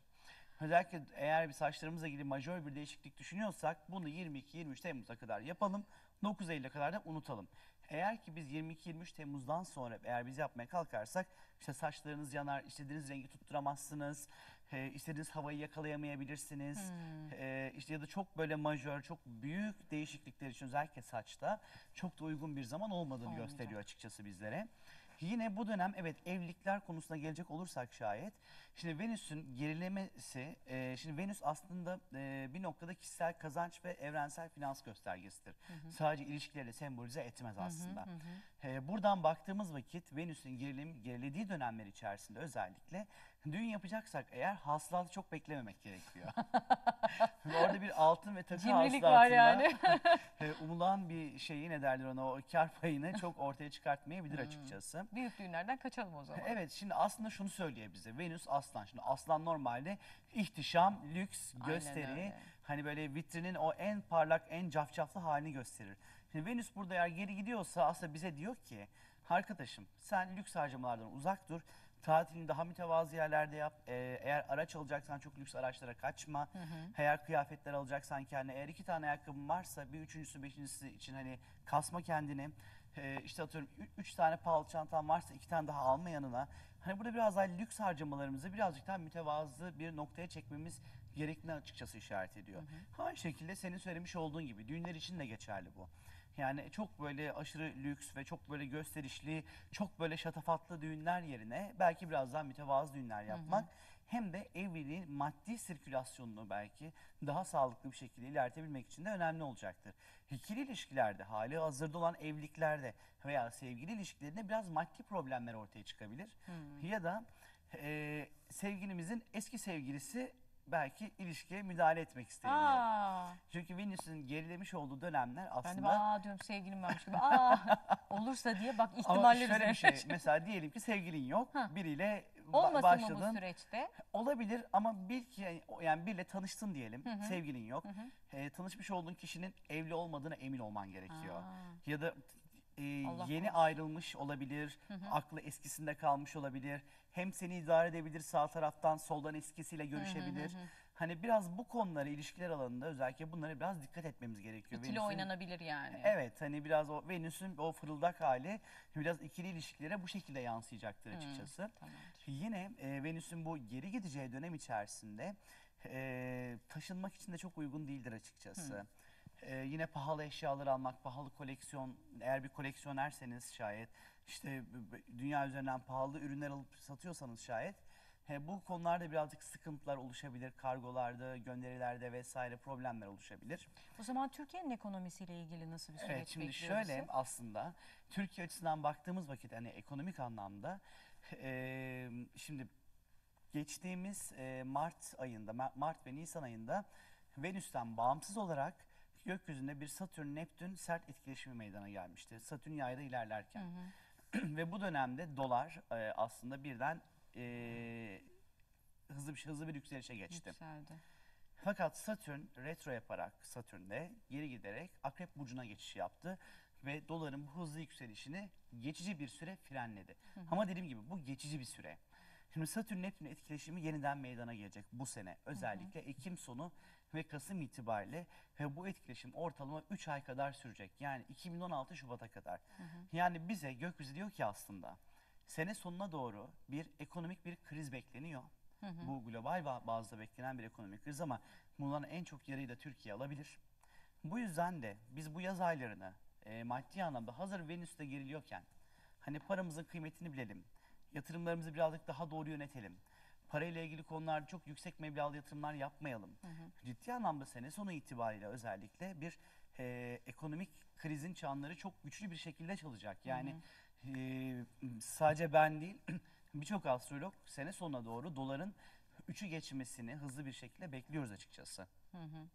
Peki. Çok fazla soru geliyor. Tabii herkes Burcu'nu merak ediyor e, sevgili Dinçer. Yapacak bir şey yok bu konuda. Başlayalım ama bir de balıklar çok şikayetçi. Sona kalıyoruz, dona kalıyoruz diye bir şikayetleri var. Araya acaba balık tersten mi? Balıktan mı başlasak? Balıktan balık, kova, Ha, oğlak öyle diyerek gidelim. böyle geri geri Ben gidelim. şimdi ortada bir yerdeyim ya. iki tarafta bana aynı uzaklıkta yengeçim. Orta pek değil Evet. ama hadi. Yani hadi neyse. Hani kıyısından köşesinden Ya en orta sonda değilim en azından E, tabii yani. tabii en Ha. azından balık değilsiniz. Peki bu Venüs retrosundan mı bahset bahsedelim? Bu ikili Yoksa ilişkiler önümüzdeki Venüs- haftaki bir Böyle yeni bir ay ortaya meydana karışık gelecek. kısa bir kısa ortaya yapsana. karışık, Mesela yılın yani geneli. hem genelinden bahset hem de kısacık bu retro nasıl etkileyecek? Bir not hani de ki mesela şunu yapmayın. İşte buna biraz dikkat edin. Anladık mesela ikili oynamalar çok olabilir. Çok, O ilişkiler yüzden alanı de birazcık, ilişkilerde evet Ee, oynak hareketlere dikkat ediyoruz. Tehlikeli alan olarak Kaygan geçiyor. zemin. Evet. Şimdi o zaman evet ya balıkla başlayalım. Değil mi ya? Günah onlara da. Bak ne, ne kadar iyi bir insanım. Ee, su grubu kardeşliği yengeç olarak Evet, diğer hemen bak, balıklara. kıyamıyorum. Çok se- Ben de serzenişte bir yükselen akrep olarak büyük su üçgenini oluşturmuş oluyoruz. Tamam o zaman. Neyse.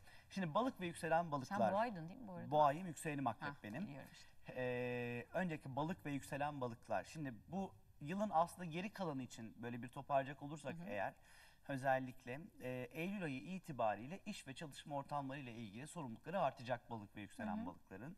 Ee, daha fazla çalışmaları, daha fazla efor sarf etmeleri gerekecek. Venüs özellikle e, balık ve yükselen balıkların biraz daha e, iş hayatlarıyla aşk hayatlarını ayırmaları gerektiğini gösteriyor. Aynı iş ortamında e, birileriyle flört etmemek, patronlarına yanaşmamak, ondan sonra e, ikili ilişkiler alanını özellikle özel partnerlerin müşterilerinden seçmemek Hı ve hı. eğer bir firmalarda çalışıyorlarsa bunlara dikkat etmeleri gerekiyor. Yılın ikinci yarısı özellikle e, Ağustos 14'ten sonra ama tabii bu e, Venüs Retrosu Eylül'e kadar süreceği için biz bunu Eylül 15 diye toparlayalım balıklar için. Jüpiter'in Başak Burcu'na geçişiyle birlikte bir senelik onların evlilik, söz, nişan, gönül e, bahçelerinde güller açacakları Ay inşallah. gayet keyifli, e, evlenmek güzel. isteyenlerin e, evliliklerini gerçekleştirebilecekleri güzel zaman bir dönem başlıyor olacak. Gelelim Kova burcuna. Kova. Kova ve yükselen kovalar için baktığımız vakit ise yılın geri kalanına özellikle e, Satürn e, tekrar yay burcuna geçiş yapacak Eylül ayında ve bununla birlikte özellikle para biriktirme, yatırım yapma, paralarını yönetme, e, ellerindeki bütçeyle idare edebilmeyi öğrenecekleri bir e, 2015 senesi onları bekliyor. Yılın ikinci hı. yarısı özellikle. Yine bu se- sene içerisinde e, Jüpiter'in Başak Burcu'na geçmesiyle e, Ağustos ayında e, daha fazla e, iş eforu sarf edecekler. Kendi işlerini kurabilirler. E, ya da mevcutta kendi işleri varsa müşterileri çok artabilir. Çok fazla e, danışmanlık verebilirler. Bir sürü müşteriyle iş yapabilirler. Hı hı. İş anlamında oldukça hani böyle oluk oluk gelecek bir süreç bekliyor. Sağlık anlamında da olası hastalıkları rahat bir şekilde üstesinden gelebilecekleri iyi bir dönem bekliyor açıkçası. Hı hı. Kova ve yükselen kovaları da bu Venüs retrosu için söyleyecek eee, şuna dikkat etmeleri gerekiyor. Eski sevgililer gündeme gelebilir. Eskiden biten ama yarım kalan ilişkiler tamamlanmak üzere Hı hı. yeniden hayatlarına giriş yapmak isteyebilirler. Eğer yeni birileriyle karşılaşırlarsa hayatlarında da kimse yoksa eğer eee, birlikte olacakları kişiyi çok ciddi bir GBT kontrolünden geçirmelerinde yarar var açıkçası. Çok korktum ya. Neyse kova değilim hiçbir tarafımda kova yok, Allah. Gelelim Oğlak Burcu'na. Oğlak. Oğlak. ve yükselen Oğlak burçları için şimdi önümüzdeki hafta özellikle önemli bir hafta. Hı. Çünkü Yengeç Burcu'nda gerçekleşecek olan bir yeni ay var Oğlaklar hı. için. Ve bu yeni ay içerisinde işte Plüto, Uranüs, Mars bir gergin bir açık alıbı var. Bu gergin açık alımının bir ayağı Plüton'da Oğlak'ta. Demek ki önümüzdeki hafta içerisinde çok e, sakin, kimsenin kalbini kırmamaya çok özen göstermeleri Ha, gereken Sinirli bir ruh hali olabilir çok. onlarda. Hmm. Yani normalde hiç tepki vermeyecekleri bir konuya hani çok yüksek desibelde tepkiler verebilirler Verebilirler. açıkçası. Özellikle iş hayatları ile ilgili önümüzdeki 20 günlük dönemde oğlak ve yükselen oğlakların risk almamaları gereken bir dönem. Olası krizleri e, krizi daha çok büyütmek yerine krizleri fırsata çevirmeleri öğrenmeleri gerekiyor. Hı hı. Oğlak ve yükselen oğlakların. Yılın ikinci yarısı yani Jüpiter'in Başak Burcu'na geçmesiyle birlikte e, onların da aşk dönemi başlıyor Hmm. hayatlarında. Uzun süredir eğer bekar, müzmin bir bekar şeklinde hayatlarını geçiriyorlarsa eğer Ağustos 14'ten sonra Buraya hayatlarının evet aşklarını bulma potansiyelleri oldukça yüksek olacak. Şimdi bak aynı performansı senden yengeç için de bekliyorum. şey şöyle yalnız bak e, e, her burca geldikçe performans böyle düşüyor iyice. Koltukta da bir İyiler küçülme bitti. hali. İyiler bitti. Hayır. Evet. Şimdi sıra geldi. Yay. Tersten gidince ha, biraz şey oluyor. Ya mesela şimdi benim ay burcum yay. Bunu da dinlemeli miyim? Hayır. Dinlemek gerekmiyor. Yani eğer ki bir Hint astroloğunu takip ediyorsan, bir Vedik astroloğunu takip ediyorsan burada ay burcunu okumalısın. Çünkü hı. onların he, burçları yazma sistemi birazcık daha lagna dedikleri güneş ve ay etkileşimi üzerinden Hı hı. yazılıyor çünkü. Hı hı. Ama bizim yazdığımız klasik ve modern astroloji e, güneş ve yükselen üzerinden e, yazılıyor çünkü yazılar. O yüzden eğer hani klasik ve bir batı modern astroloğu takip ediyorsanız şayet burada hani ayı okumaya gerek yok. Hı hı. O yüzden hani beni takip ediyorsan okuma. Okuma. Tamam anladım. Ee, ama ay önemli bir şey astrolojide. Çünkü Hı hı. ay benim duygu dünyamı gösterir, Evet.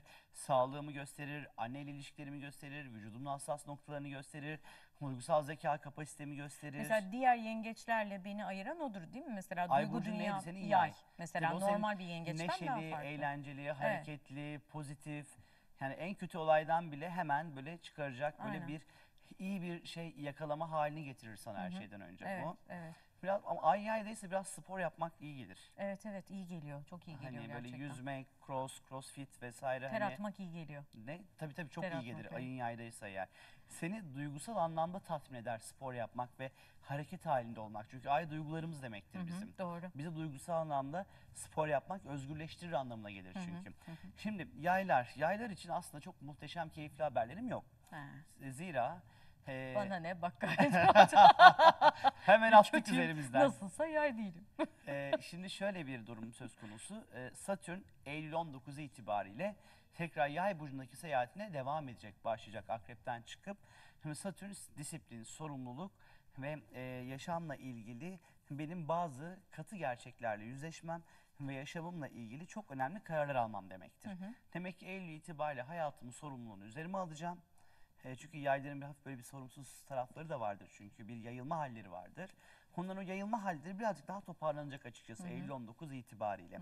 Fakat bu e, Jüpiter'in Başak Burcu'na geçişi özellikle bu önümüzdeki bir senelik dönemde belki ev almak, kredi çekmek, kendi evlerine sahip olmak e, ya da bir araba almak, dükkan açmak, bir tapu, bir toprak işlerine yönelmek için de güzel bir süreç olacağını gösteriyor. Hı Yay ve yükselen yayların özellikle bu önümüzdeki bir senelik dönemde yılın ikinci yarısı için söylüyorum açıkçası.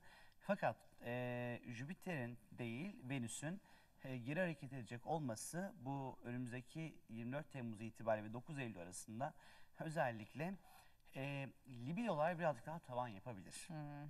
İlişkilerde istikrar ve stabilite yakalamak zor olabilir. Hı hı. Partner sirkülasyonu fazla olabilir. Hani burada özellikle ilişkiler alanında biraz daha seçici davranmaları gerekiyor aslında. hı hı.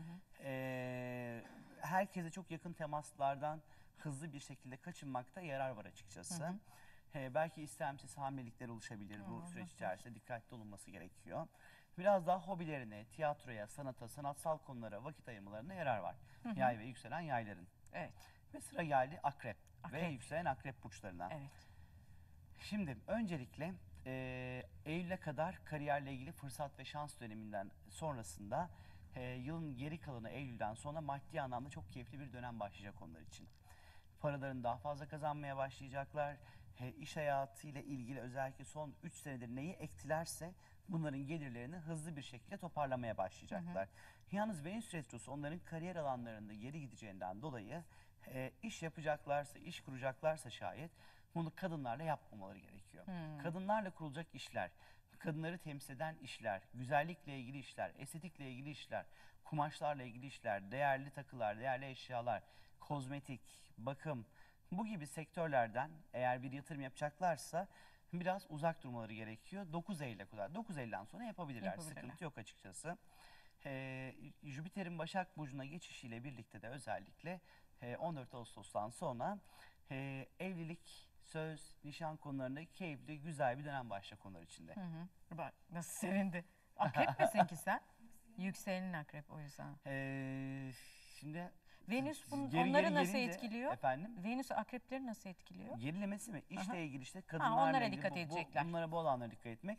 De iş hayatından gelen gelirlerde bir tık böyle bir azalma olabilir ama çok da hayatlarını etkilemeyecektir. Başak mı? Terazi. Terazi mi? Ha. Terazi, akrep, terazi. Geri geri Geri gelince. gelince evet bir sıkıntı. alışmamışız. Doğru hep ileri gidiyoruz ya. Bugün Terazi ve yükselen terazi burçları. Ha, dinliyorum. Yükselelim terazi. Yüks- yengece terazi. Hı. Peki şimdi teraziler... Ağlayayım mı? Çok kinayeli baktım. Yengece terazi. ya Çok mu garibanım? 2010'da 2012 arası yeterince ağlamadınız mı ya? Çok Satürn ağladık ya. Bitti ama galiba değil mi? Bitti. Bir 29 sene sonra. Aa iyi.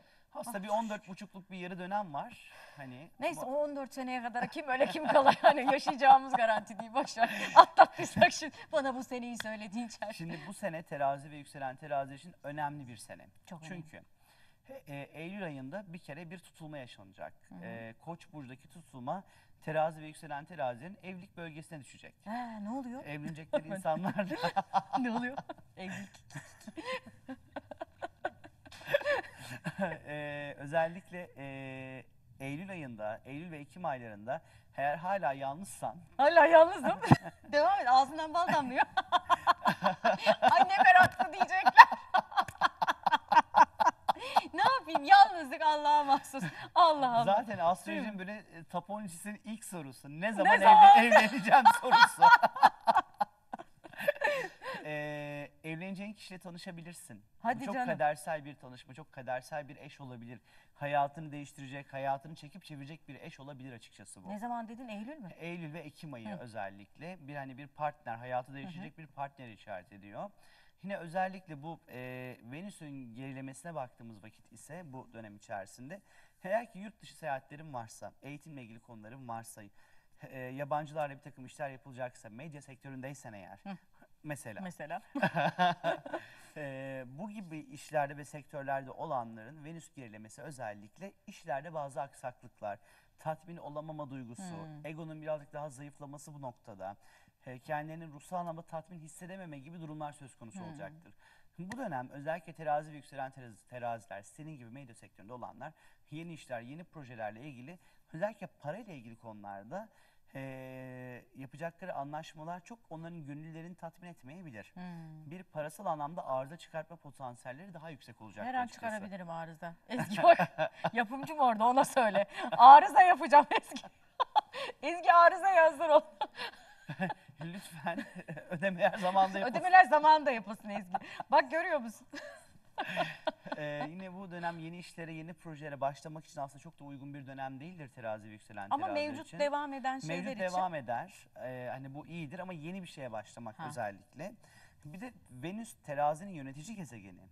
Yani bu yüzden de 9 Eylül'e kadar e, atıyorum işte bir estetik müdahalede bulundurmak, işte ne derler ona işte iyi botoks yaptırmak. Kendinizle oynamayın Ya diyorsun evet yani. hani bir 9 Eylül'e kadar en doğal halinizde kalmanıza Kalın. yarar var açıkçası. Çok güzel. Ee, yılın ikinci yarısı tabii ki özellikle Ekim itibariyle hem aşk hem de para işleri birazcık daha iyiye doğru gitmeye başlıyor. Ay çok şükür vallahi ya. Herkes Güzel. mutlu olsun değil mi yani? Biz gerçekten onu istiyoruz. Biz Evet. de olalım ama. E, tabii tabii hepimiz Herkes olalım. mutlu olsun biz de olalım. Evet şimdi Başak. Başak. Ha. Başak ve yükselen Başaklar. Başak Ezgi bekliyor. Ee, 14 Ağustos'ta Jüpiter'in Başak Burcu'na geçmesiyle birlikte e, Başak ve yükselen Başakların 12 senedir bekledikleri şans, talih ve kısmet ve bilimum güzelliklerle karşılaşma dönemi başlamış olacak. Öncelikle Jüpiter aslında büyük para demektir Hı. ve fırsat demektir. Demek ki Başak ve yükselen Başaklar maddi anlamda büyük fırsatlarla karşılaşacakları 14 Ağustos itibariyle dolu dolu bir bir senelik sürece giriş yapacaklar. İnşallah. Bu güzel bir şey ne der güzel bir etki Hı bu hı. açıkçası. Fakat şimdi Venüs'ün gerilemesine baktığımız vakit ise özellikle arkadaşlıklar, dostluklar, sosyal ilişkilerde e, bazı e, yanlış anlaşılmalardan dolayı ara açılmaları olabilir. Özellikle kadın arkadaşlarla, kadın dostlarla e, kıskançlıktan dolayı özellikle e, sen daha güzelsin, ben daha güzelim, sana iltifat ettiler, bana etmediler, Allah şöyle Allah. oldu, böyle oldu derken biraz ilişkiler sarpa sarabilir açıkçası. Yine bu dönem e, hiç e, normalde olmaz ya. e, en yakın arkadaşımız bize aşk ilanı aşk edebilir. Mesela. Nasıl döndü? Çünkü nişanlısı eski e, çok iyi bir arkadaşı değil mi? Tabii. Başak işte bak. Biraz hani o, o- oraya biraz dikkat etmek gerekiyor açıkçası.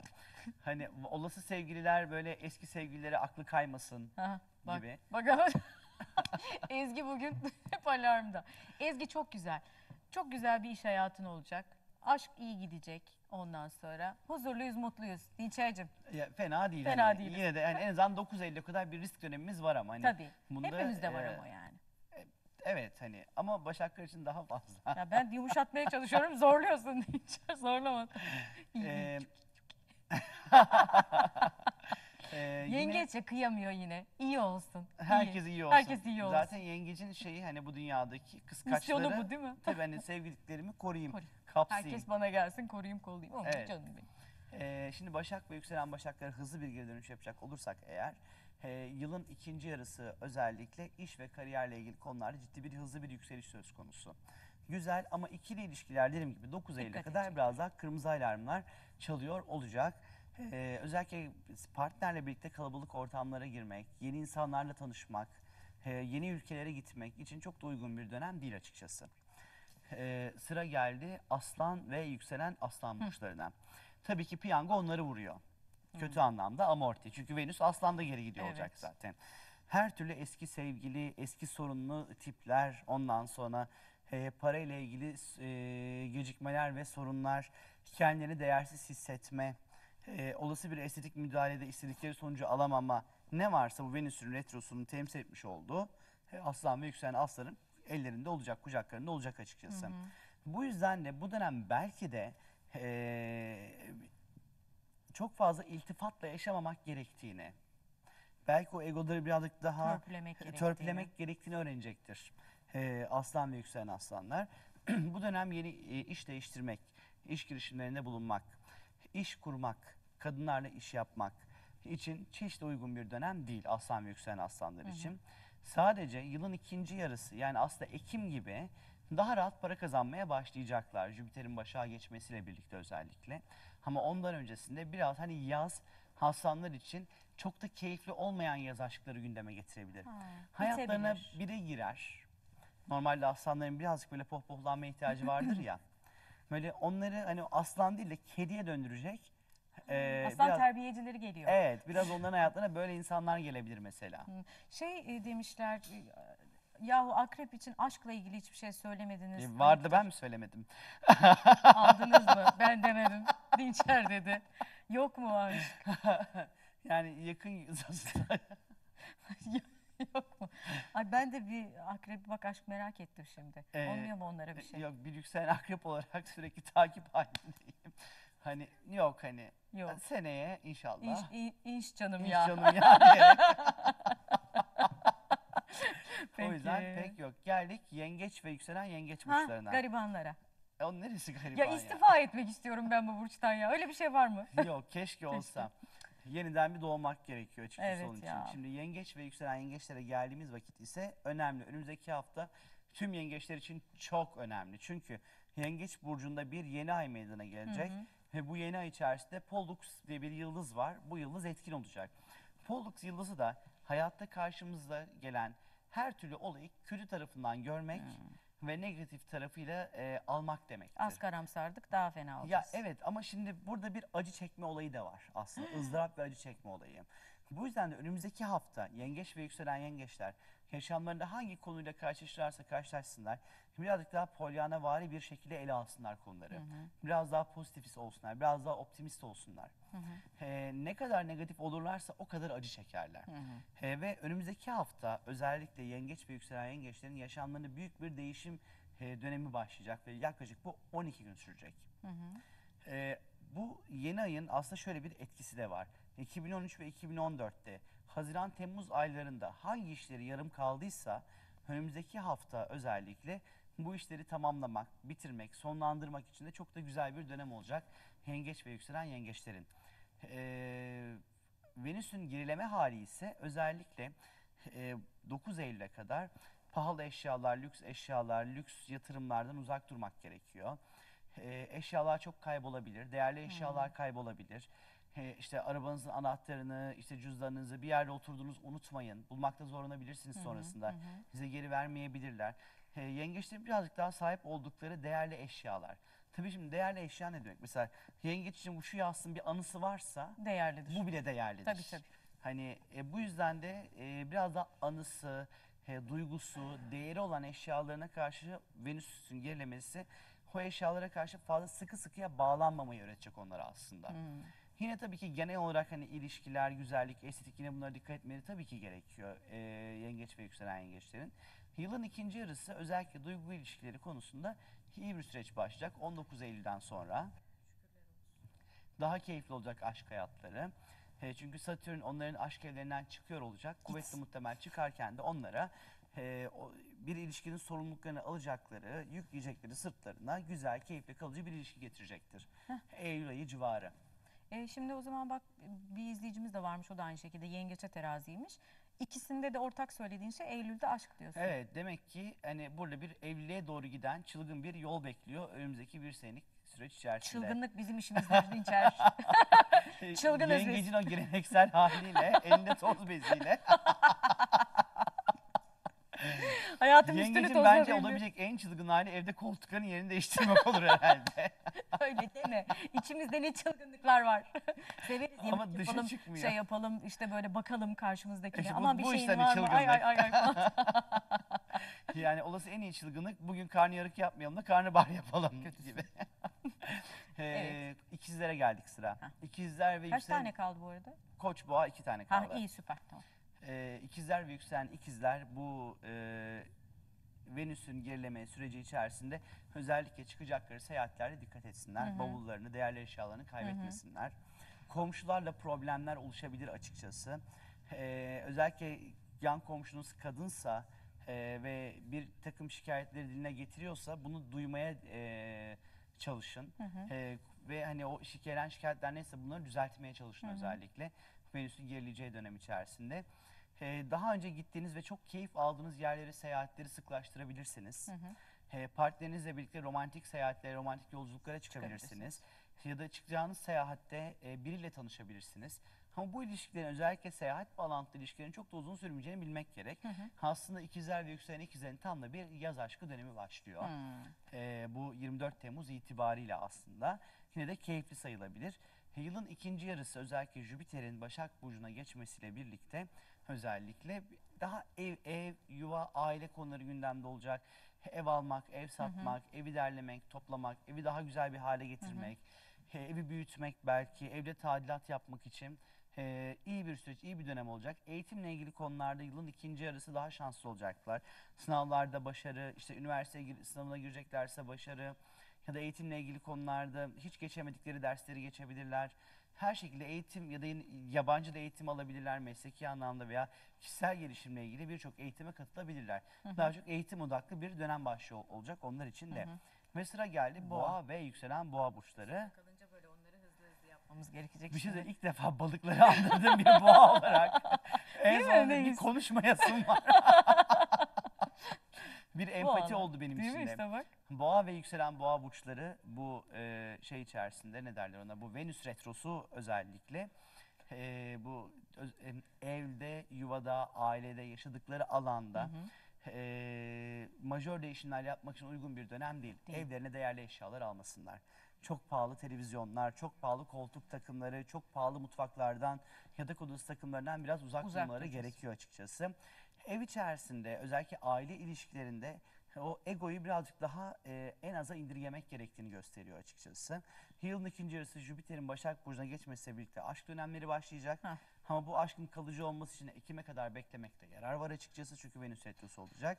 Sene sonuna doğru gerçekleşecek olan tutulmalarda kariyerlerini özellikle Eylül-Ekim aylarında parlatacak. Ve sıra geldi Koç ve yükselen. Koç burçlarına. Ee, önceki tutulma önemli. Ee, 28 Eylül'de Koç burcunda bir ay tutulması meydana gelecek. Ay duygular, anne, ev, yuva, aile demektir. Hı hı. Demek ki Ekim ayında yani Eylül sonu ve Ekim başı dönemde e, onların duygu hayatlarını, sağlıklarını etkileyecek, anneyle ilişkilerini etkileyecek e, bir e, tutulma yaşayacaklar. Bu tutulma döneminde çok aniden bir karar vererek yurt dışında yaşayabilirler.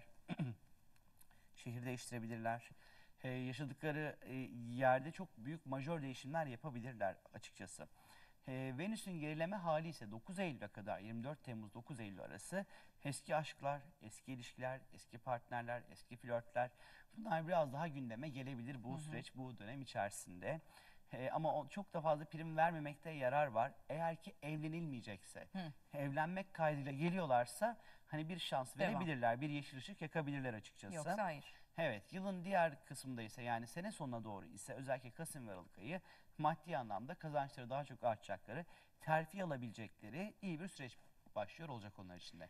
Ağzına sağlık. Ah, yoruldun değil mi? Çok haklısın ya. Çok yoruldun. Seni dinlendirelim. Çok teşekkür Ben ediyoruz teşekkür ederim asıl. Yani e, biz istiyoruz ki şöyle iyi bir haftaya denk gelirse böyle herkesin mutlu olduğu o zaman bir daha gel. Niye çok kötü şeylerden Ya, bahsetmedim Neyse yahu? ama biraz öyle oldu da yani. Ama senin de suçun yok. Hiç suçun yok tabii ama ne yapacaksın? Ne yapacaksın? Evet doğru söylüyorsun. çok teşekkür Ben ediyoruz. teşekkür Tekrar ederim buluşalım asıl. istiyoruz. Ben de çok isterim. Sevgili seyirciler e, çok gerçekten tadından yenmeyecek keyifli bir sohbet oldu. Elimizden geldiğince hepsini burçların tek tek anlatmaya çalıştık. Evet çalıştık. yayın içinde yayın yapıyoruz. Gerçekten bir alem hale geldik. Şimdi e, sizleri komik videolarla baş başa bırakacağım. Ardından sevgili Dinçer'i uğurlarken sevgili Uğur Ati'yi aramıza alacağım. Sohbetimiz devam ediyor efendim. Bizden ayrılmayın.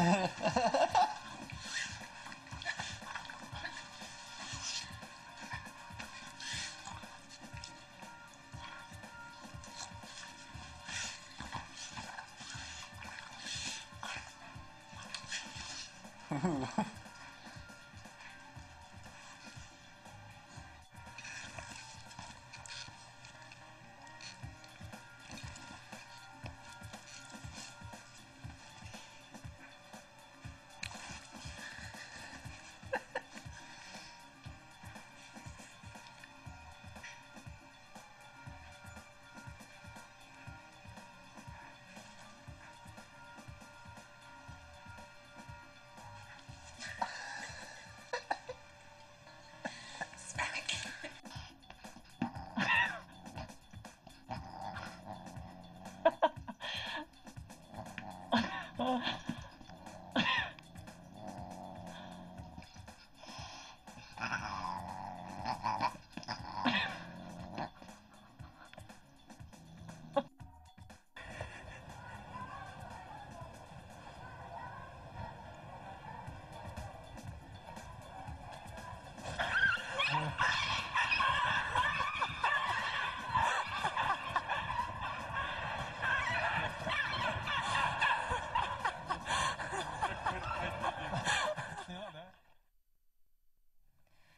Sevgili seyirciler, araştırmacı sevgili Uğur Atik'le birlikteyiz. İzleyicilerimiz çok yakından biliyorlar Uğur Bey'in e, bütün hünerlerini, maharetlerini, e, o güzel sohbetini. E, Bugün de Ramazan ayı devam ederken hali hazırda biliyorsunuz çok güzel ziyaret edeceğimiz yerler var. Çok ulvi. E, Ramazan ayının güzelliği ve o e, haleti ruhiyesi içinde bizi çok daha güzel hissettirecek yerler var. Oraları da ziyaret ediyoruz. Şimdi ama önümüzde neler var? Destimali şeriflerimiz Destimali var. şeriflerimiz Yalnız, var. Şimdi efendim Ramazan'ın son haftasına Evet. girdik. Ramazan'ın ilk cuma günü Hı hı. Hırkayı Şerif açılır. Hırkayı Şerif'te Peygamber Efendimizin Veysel Karani yani bir deve çobanına hediye ettiği hırka. Topkapı Sarayı'nda da Hırkayı Saadet. Yavuz Sultan Selim Han'ın Mısır seferinden sonra Hırkayı Saadet'i alıp Topkapı Sarayı'na getirmesi. Getirmiş olması. Bunların her ikisi de Ramazan'da Osmanlı ritüelinin ayrılmaz parçalarıdır. Efendim Hırkayı Şerif Camii'ndeki mübarek hırkası Efendimizin Veysel Karani bir deve çobanı. Tabii bunu mütasavvıflar çok güzel anlatırlar. Bu benim ilmim olmadığı için nacizane anlatmaya gayret göstereceğim. Gayet güzel anlatırsınız siz. Efendim Veysel Karani bir do- deve çobanı. Yemen ellerinde yaşayan. Fakat annesi ama ve aynı zamanda kötürüm. Annesine kendisi bakıyor. Annesini kendisi yediriyor. Bütün ihtiyaçlarını kendisi karşılıyor. Hiç kimsenin etkisi altında kalmadan Müslüman olan bir zat ve efendisine o kadar çok hürmet ediyor, o kadar çok sevgi ve aşkla yanıyor ki ziyaretine gitmek istiyor. Ama annesi katı surete müsaade etmiyor çünkü giderse kendisine bakacak hiç kimse yok. Ne yapıyor? 40'lı yaşları doldurduktan sonra annesi diyor ki tamam artık vakti zamanı geldi gidebilirsin. Git ama hemen geri gel. Eğer Efendimiz orada göremezsen sakın orada vakit kaybetme geri gel çünkü bana bakacak kimse yok der. Efendim işte Veysel Karani Hazretleri çıkar. Efendimizin hanelerine teşrif ederler. Ayşe validemiz kapıyı açarlar. Buyurun derler. İşte Efendimiz yoktur evde. Kendisini ziyaret etmek istediklerini söylerler. Bunun akabinde de eli boş olarak Efendimiz'i görmeden geri dönmek mecburiyetinde kalırlar. Çünkü annesine verdiği bir söz vardır. Efendimiz seferden hanelerine teşrif ettikleri zaman içeride bir koku duyar. Der ki Ayşe validemize bu koku kimin kokusu? Çok mübarek bir koku görüyorum. Ayşe validemiz de derler ki Yemen ellerinden gelen Veys diye bir muhterem geldi. İşte sizi görmek istediler, aşkı niyaz ettiler ama sizi görmeden geri gittiler çünkü annelerini bırakamaz. Bütün hadiseyi anlatıyor. Sonra Efendimiz çok etkileniyor. Diyor ki hangi gözünle gördün diyor Karani'yi diyor. Sağ gözümle gördüm diyor. Ben diyor senin gözüne bakayım ki diyor senin gördüğün gözü göreyim diyor. Sonra e, ashabının etrafına gidiyor. Diyor ki bakınız bu göz o mübareği diyor gördü diyor. Sizler de gelin diyor onun gördüğü diyor gözü görün diyor. Sonra Efendimizin gözüne bakarak onu görmüş oluyorlar. Ve bu vesileyle Efendimiz de artık göçmeden önce, sırlanmadan önce son bir vasiyet bırakıyor. Diyor ki ben sırlandıktan sonra bu mübarek hırkamı Veysel Karani'ye götürünüz diyor. Hazreti Ömer ve Hazreti Ali Efendimiz Keremallahu Vecih Efendimiz sırlandıktan sonra Yemen'e gidiyorlar. Bir köyde Zat-ı Muhterem'i buluyorlar. Diyorlar ki biz geldik ama efendim diyorlar siz yanlış bir kişiyi aramayınız. Ama Peygamber Efendimiz o zaman diyor ki bir işaret veriyorum size diyor. Sağ eli diyor gümüş gibi diyor parlak diyor.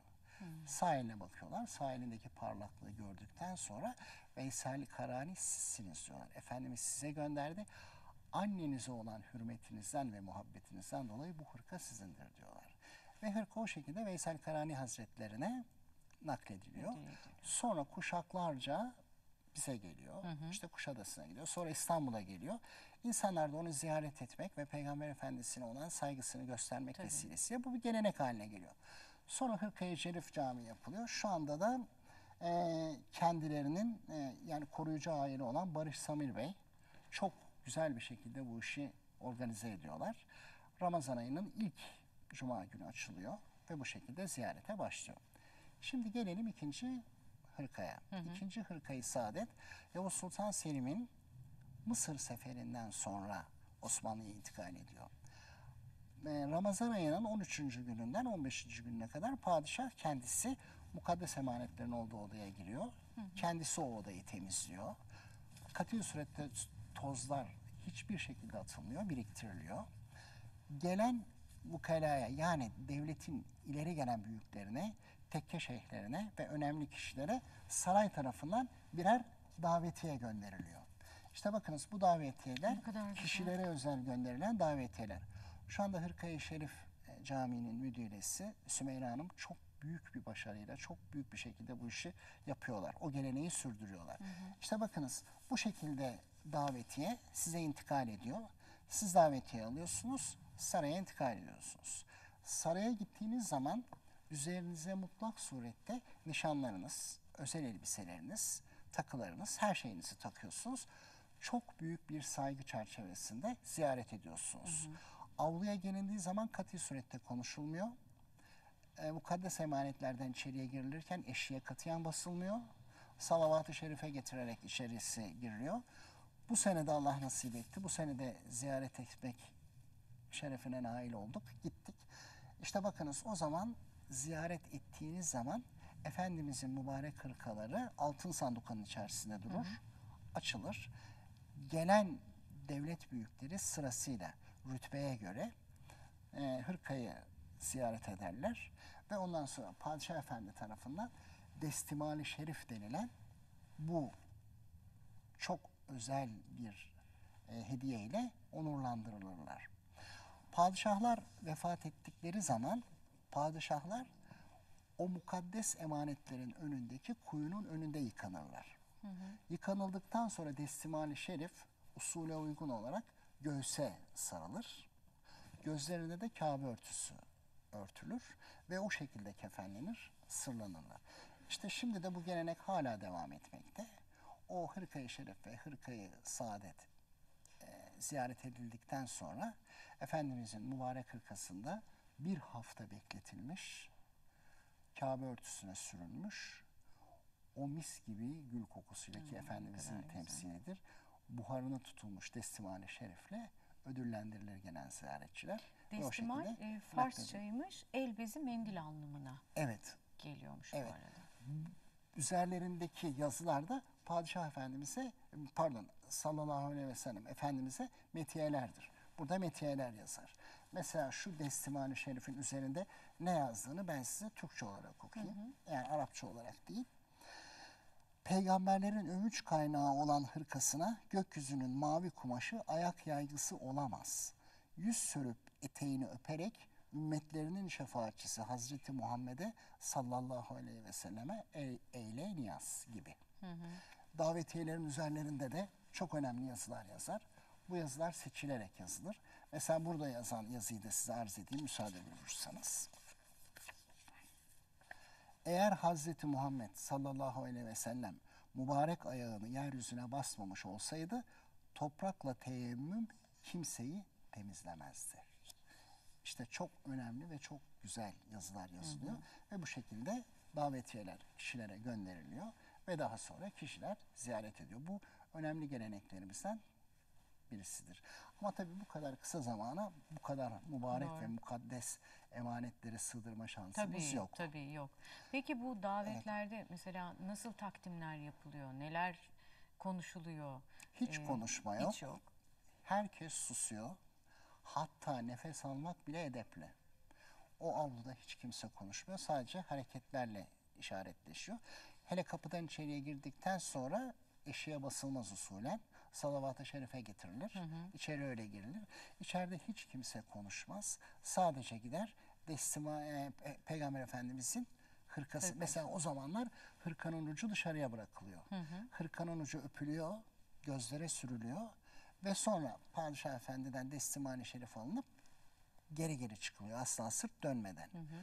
İşte o dönemde bittikten sonra altın bir leğenin içerisine zemzem suyu koyuluyor. O hırkanın, mübarek hırkanın ucu o suda yıkanıyor. Buhardanlıktan gül buharı çıkarken onda kurutuluyor ve onun içerisindeki su küçük şişelere doldurularak gelen kişilere hediye ediliyor. Belli bir zamana kadar bu ritüel bu şekilde devam etti. Hastalara şifa, dertlilere deva şeklinde o mübarek su kullanılır idi. Hasta olan kişiler tarafından kullanılır. Ama belli bir süre sonra aşınmasının önüne geçebilmek için Topkapı Sarayı'nda bu hadise kaldırıldı. Kahveyi orada görüyorum. Kahveyi Evet. yapmadan da bitirmeyelim. Hay hay. O Hadi o zaman, zaman. buyurunuz fincanınızı seçiniz. Ay seçeyim. Hangisini seçsem? Ben şimdi üç Evet. kuruş fazla olsun, kırmızı olsun mantığıyla.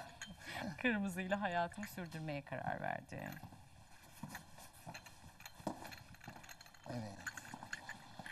Geldik. Bayramların vazgeçilmesi Bayramların kahvemiz. vazgeçilmezi, iftar Bizler- sofralarının Bizler sonunu mühürleyen. bayram- bayrama, bayramda namaza gittik. Namaz Hı hı. bitti, saraya geldik, bayramlaştık. Kahve içebilmemiz için önce ne yaptık? Kahvenin altına yaptık. Yani Hı, kahvaltı yaptık. kahvaltımızı yaptık. Kahvaltı yaptıktan sonra kahveye geçiyoruz. Kahveyi yapabilmemiz için ilk önce bakır bir cezveye ihtiyacımız var. Evet. Bakır cezvenin içinin kesinlikle kalaylı olması gerekiyor. İşte bu cezvenin içerisine yapılacak kahveden bir ölçü yani şu şekilde bakınız. Dolu. Dolu iki kaşık atıyoruz. Bu 5 grama tekabül ediyor. Hı hı. Ay çok güzel Eğer kokuyor. şeker kullanıyorsanız ki o dönemde biz sarayda şeker kullanmıyoruz. Hı hı. Hayatımızda Lokum şeker yeniyor yok. sonra. Evet.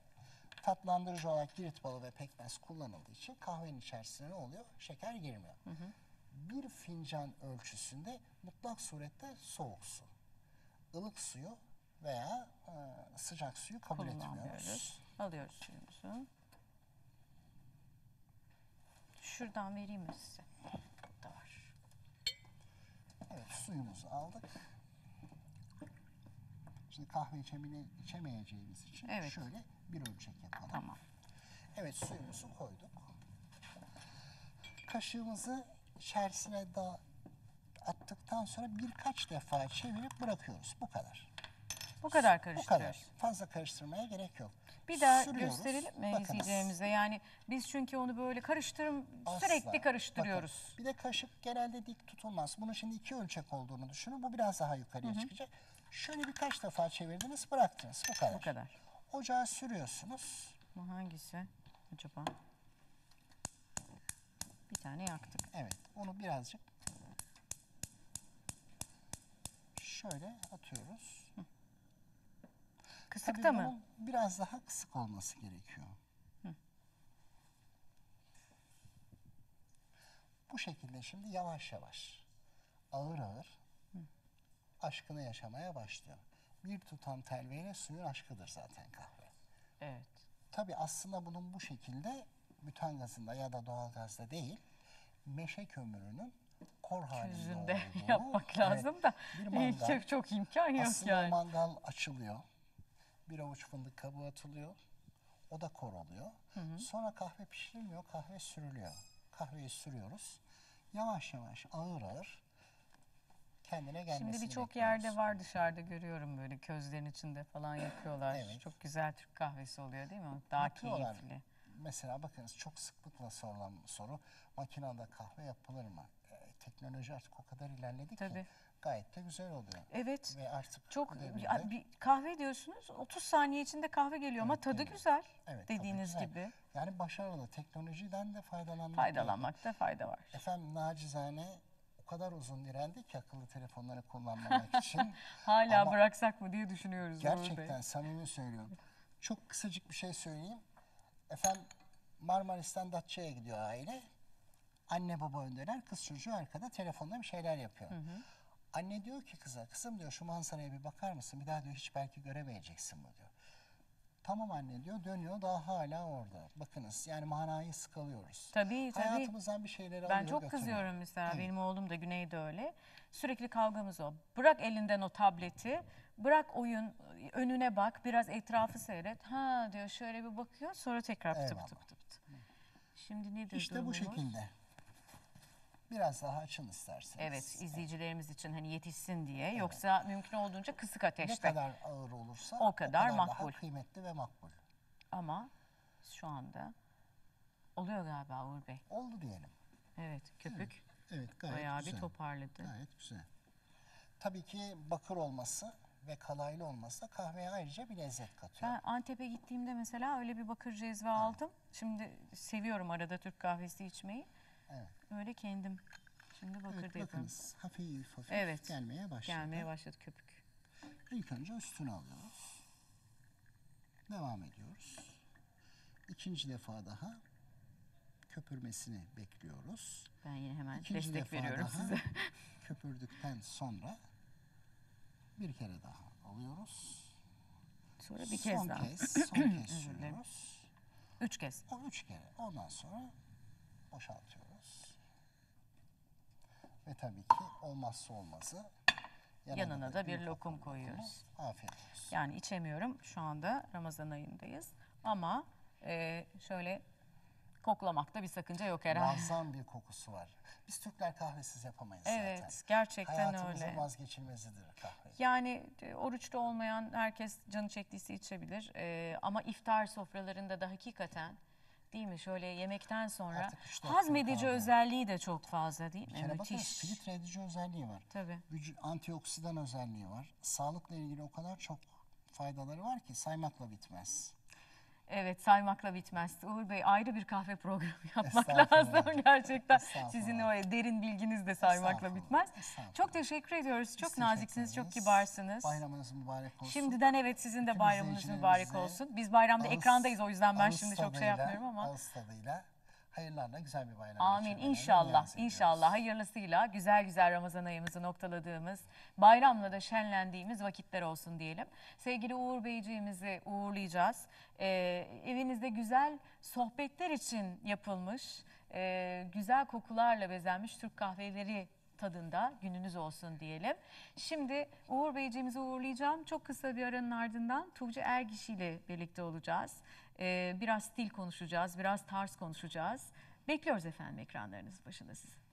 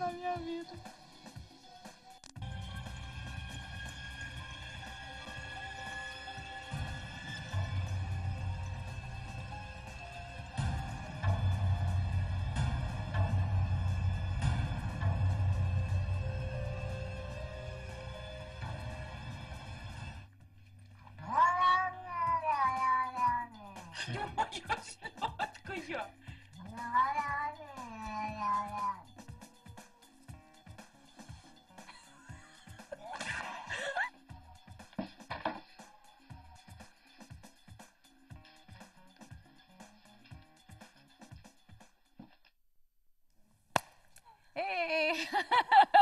Tam öyle konuşurken. Öyledir ama canlı yayın böyle bir şey. Ben iki dakika içinde orada fotoğraf çekerken buradan buraya gelip falan. Hoş geldin. Hoş buldum. Nasılsınız? Çok iyiyim, süper siz. Biz de iyiyiz. Biz ailecek çok seyrediyoruz. Gerçekten çok severek izliyorduk. Aynı zamanda sen diyebilirim değil mi? Tabii ki, tabii Benden ki. küçüksün Tabii tabii, ki. yüksek ihtimalle. Tabii ki, o yüzden e, yani hakikaten çok severek izliyorduk. E, ve hani her gün hakikaten evde böyle o onu ne giydi bu özellikle takip ettiği isimler oluyor herkesin. Senin fanların da çok fazla tabii. Sağ olsunlar, çok çok fazla. Hepsine sevgiler. Nasıl şimdi yarışmadan sonrasını herkes merak ediyor. Çünkü Türkiye'de biliyorsun bu e, böyle reality şovlara benzer tarzdaki e, gerçek hayatın kesitlerinin olduğu yarışmalar çok ses getiriyor. İsimler içindeyken çok fazla e, konuşuluyor. Fakat herkes yarışma sonrası Sonra ne ne oluyor? bu yapıyor, nereye gidiyor bu kızlar yapıyorlar? diye. Ne kadar o yarışmanın e, devamlılığı geliyor merak ediyoruz. Aslında bu bizim elimizde, bu bizim başarımızda. Ben tiyatro eğitimi almış bir insandım yani. Tiyatroya devam etmek istiyorum ileriki hayatımda. Şu anda değil, biraz daha süresi var. Ee, orada ne kadar kendimizi gösterdik, insanlara sevdirdik, ee, ne yönde eğitimlerimize devam ettik bu çok önemli bir sonraki hayatımızda. Ben yarışmadan sonra iki tane program sunuculuğu yaptım. Daha önce zaten modellik yapıyordum. Modelliğe devam ettim. Zaten fiziğin çok güzel. Teşekkür ederim ama fizik deyince ben o kadar korkuyorum Niye? ki çünkü çok zayıfsın çok zayıfsın ilk defa siz söylemediniz çünkü kilo aldım ondan herhalde. Bence çok iyi görünüyorsun. Yani tabii zayıfsın. Çok zayıfsın o ayrı ama, Ama çok proporsiyonun çok düzgün olduğu için Çok öyle hani ederim. ay bu kız ay zayıf falan gibi bir his uyandırmıyor insanda yani. sarılmak istiyorum. Çünkü her gören bu ne kadar zayıf bu böyle bel mi olur diyorlar artık çok sıkıldım e, ama kilo aldım inanılmaz yiyorum. E, yemek ve çok sağlıklı besleniyorum. Yarışmadan sonra dediğim gibi modelliğe devam ettim. Küçük bir e, bir marka oluşturmuştum ben. Tasarım ürünler yapıyorum el işi. Annem, anneannemin beraber böyle kurduğumuz bir markamız var. Onda satışlara e, devam ediyorum. Ee, yakında da sürprizler olabilir. Aslında sürprizler e, halk sayesinde de biraz gelebilir. Konuş, ben bunu düzelteyim. Tamam. Çünkü herkesin merak ettiği bir soru var. Ben de buradan onu söylemiş olayım ve açıklık getireyim. All, All Star. Star. Ancak bana soruyorsanız sen All Star'da mısın diye tabii ki bunu e, şirketimiz, yapımcılarımız, jüri üyeleri karar verecekler All Star'da olup olmayacağımıza. Ama burada en büyük etken sizlerdi. Yani All Star'da olup olmayacağımı sizler belirleyeceksiniz. Sosyal medyalarda, sosyal medya hesaplarımda nereye oy verebileceklerini söylüyorum. E, kendi oy SMS e, numaramı söylüyorum ve herkesten de oy bekliyorum. Bu Eğer bütün e, All katılımcılar için geçerli değil mi? Tabii bütün sezon, Böyle bir sezon. şekilde seçilecek yani. Tabii. Bu All Yani çok çok şeyi. büyük bir etkisi var. Artık halka bırakıldı. Tabii ki dediğim gibi ben çok büyük yani bilgim yok. Yapımcılarımız, jüri yetkili kişiler karar vereceklerdir. Ama SMS açıldı ve SMS gerçekten çok önemli. Dediğim gibi sosyal medya hesaplarımda bunları da sık sık duyuruyorum. Ha, bu yapımcın deyince e, sevgili Caner Erdem ve Haluk Sevgili Şirin benim Demet e, Erdem de. Show TV'den onlar benim çalışma arkadaşımdı. Çok emin ellerdesin. Gerçekten Çok, televizyonculuğu çok iyi bilen, çok hakim, çok değerli iki insandır. Çok sevdiğim çalışma arkadaşlarımdır. Selamlar söyleyeyim Çok buradan çok da. ben de Demet Erdem, Haluk Şirin, Caner Erdem kucak dolusu sevgiler. Hayatımın en güzel dönemlerini yaşadım onlar sayesinde. Çünkü çok iyi bir ekip kurmuşlardı bizim için. Ee, çok iyi imkanlar sağladılar ve çok güzel bir yarışma yaptılar. Ben hiç aklıma gelmezdi Türkiye'de popüler olacak. Hatta dünyada Azerbaycan'dan, Değil mi? İran'dan Böyle bir izlenecek format bir haline programı gelecek. olmak e, çok çok güzeldi. İnşallah çok daha güzelleri olur hayatımızda. İnşallah. Şimdi tabii her e, sezonla birlikte bir önceki sezonu arar olmaya başladı insanlar. Şimdi ilk, Biraz. ilk sezonun tadı çok başkaydı tabii. Yani hani ilk yarışmacılar ilk kez kaynaştık, ilk kez sizi gördük.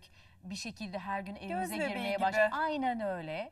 Ee, ondan sonra ikinci sezonda sıklıkla ilk sezona böyle göndermeler yapıldı. Hatta stüdyoya çıkıp çıkıp geldiniz. Değil Evet mi? sağ olsunlar konuk aldılar davet ettiler. Ee, İnsan bir kere alışıyor işte eskiden beni evet sevmeye sevmeyebiliriz. Sevmeyen insanlar ya da beğenmeyen insanlar e, şey demeye başlar. Tuğçe keşke olsan keşke ağlasan keşke seni görsek. Hatta biraz önce bir yaz- şey okudum bir mesaj atmışlar. Tuğçe biliyor musun? Eskiden seni hiç sevmiyordum. Demek ki insanları tanımak gerekirmiş. Ben artık seni çok seviyorum teşekkür ederim evet e, tanımadan biraz yargıladığı insanlar ama seven de sevmeyen de canı sağ olsun. Doğru. Şimdi yarışmada en çok konuşulan şey de şu oldu. Dediler ki birbirlerine saldırıyorlar. Hı hı. Yani sadece sizin sezon için değil genel olarak. Ve aslında bu bir oyunun parçası. Sürekli böyle biliyorsun e, sosyal medyada da sıklıkla Her bu konuya yerde, evet. ilişkin e, laflar, sözler çıktı. Yok işte e,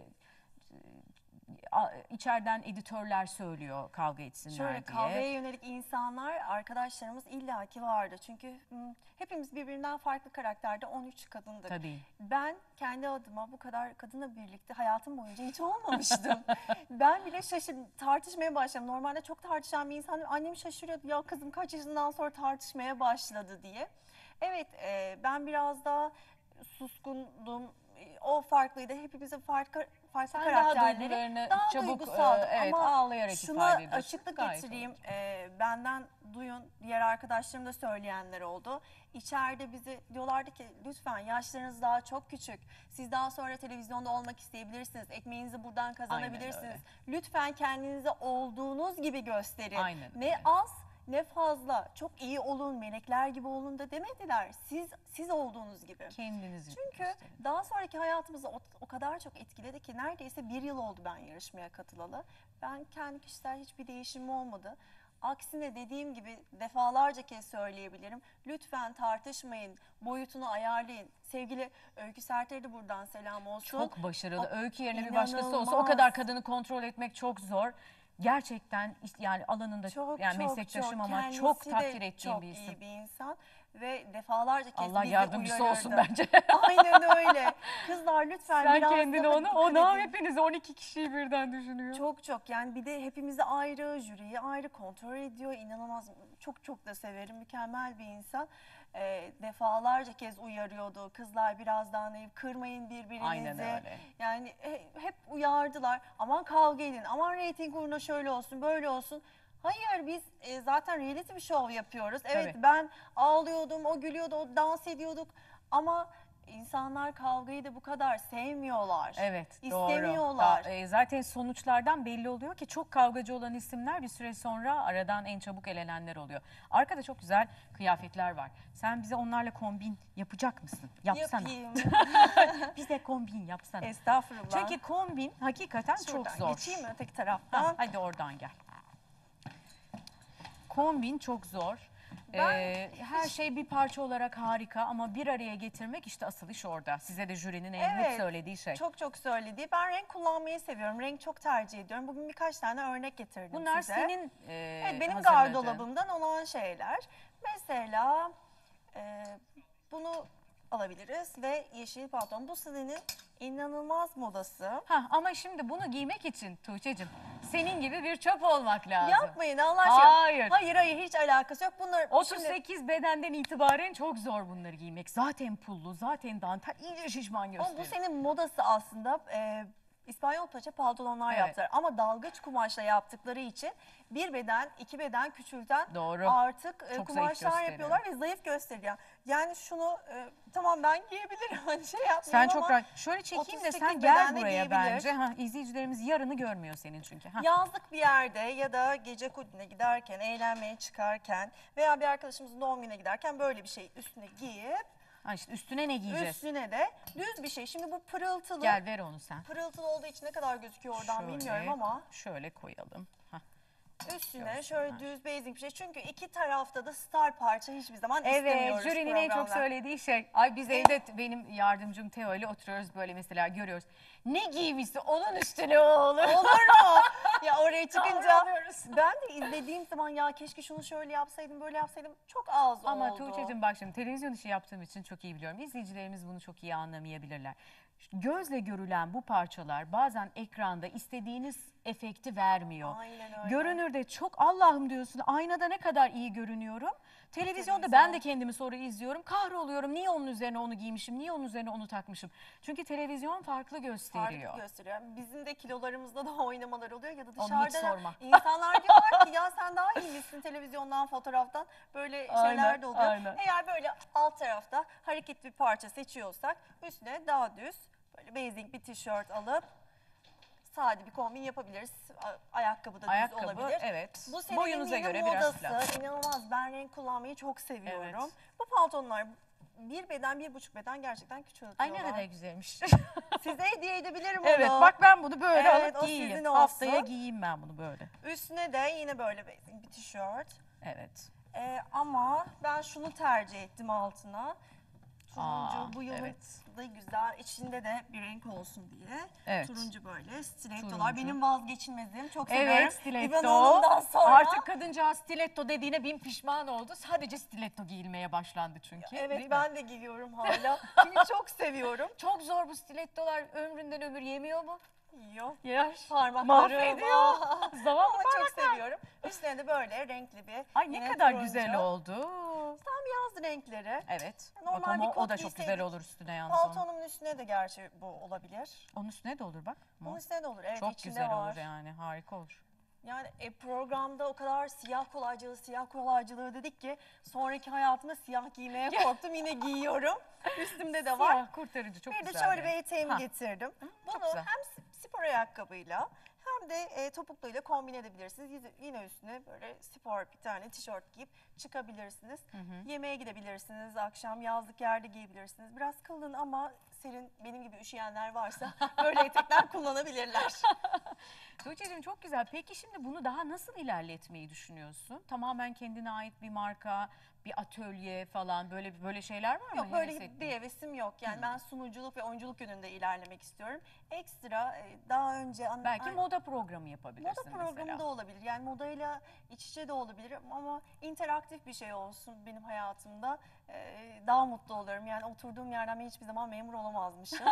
Enerjimi harcayacağım bir mesleğim olmalı daha sonrasında. Zaten e, sunuculuğa çok çok fazla devam etmek istiyorum. Küçük bir markamız var el ürünlerimizi Hı hı. sattığımız. Onlarla ilerleyebilirim ama e, televizyon önünde olacağım gibi Allah nasip ederse. İnşallah. İnşallah. Şimdi çok konuşuldu biliyorsun. Otursak mı acaba biz şimdi kombinlerimiz böyle dursun. Kombinleri Dursun. saçalım. Renkli Ha, renkli. renkli renkli onlar. Ee, Bu, bu arada sizin Ha alayım bak. Hiç unutmam. Çok Verilen yakışacak. hediye geri alınmaz. İyi günler Ay de çok teşekkür ederim Tuğçe'cim. En sevdiğim konuk hediye getirendir.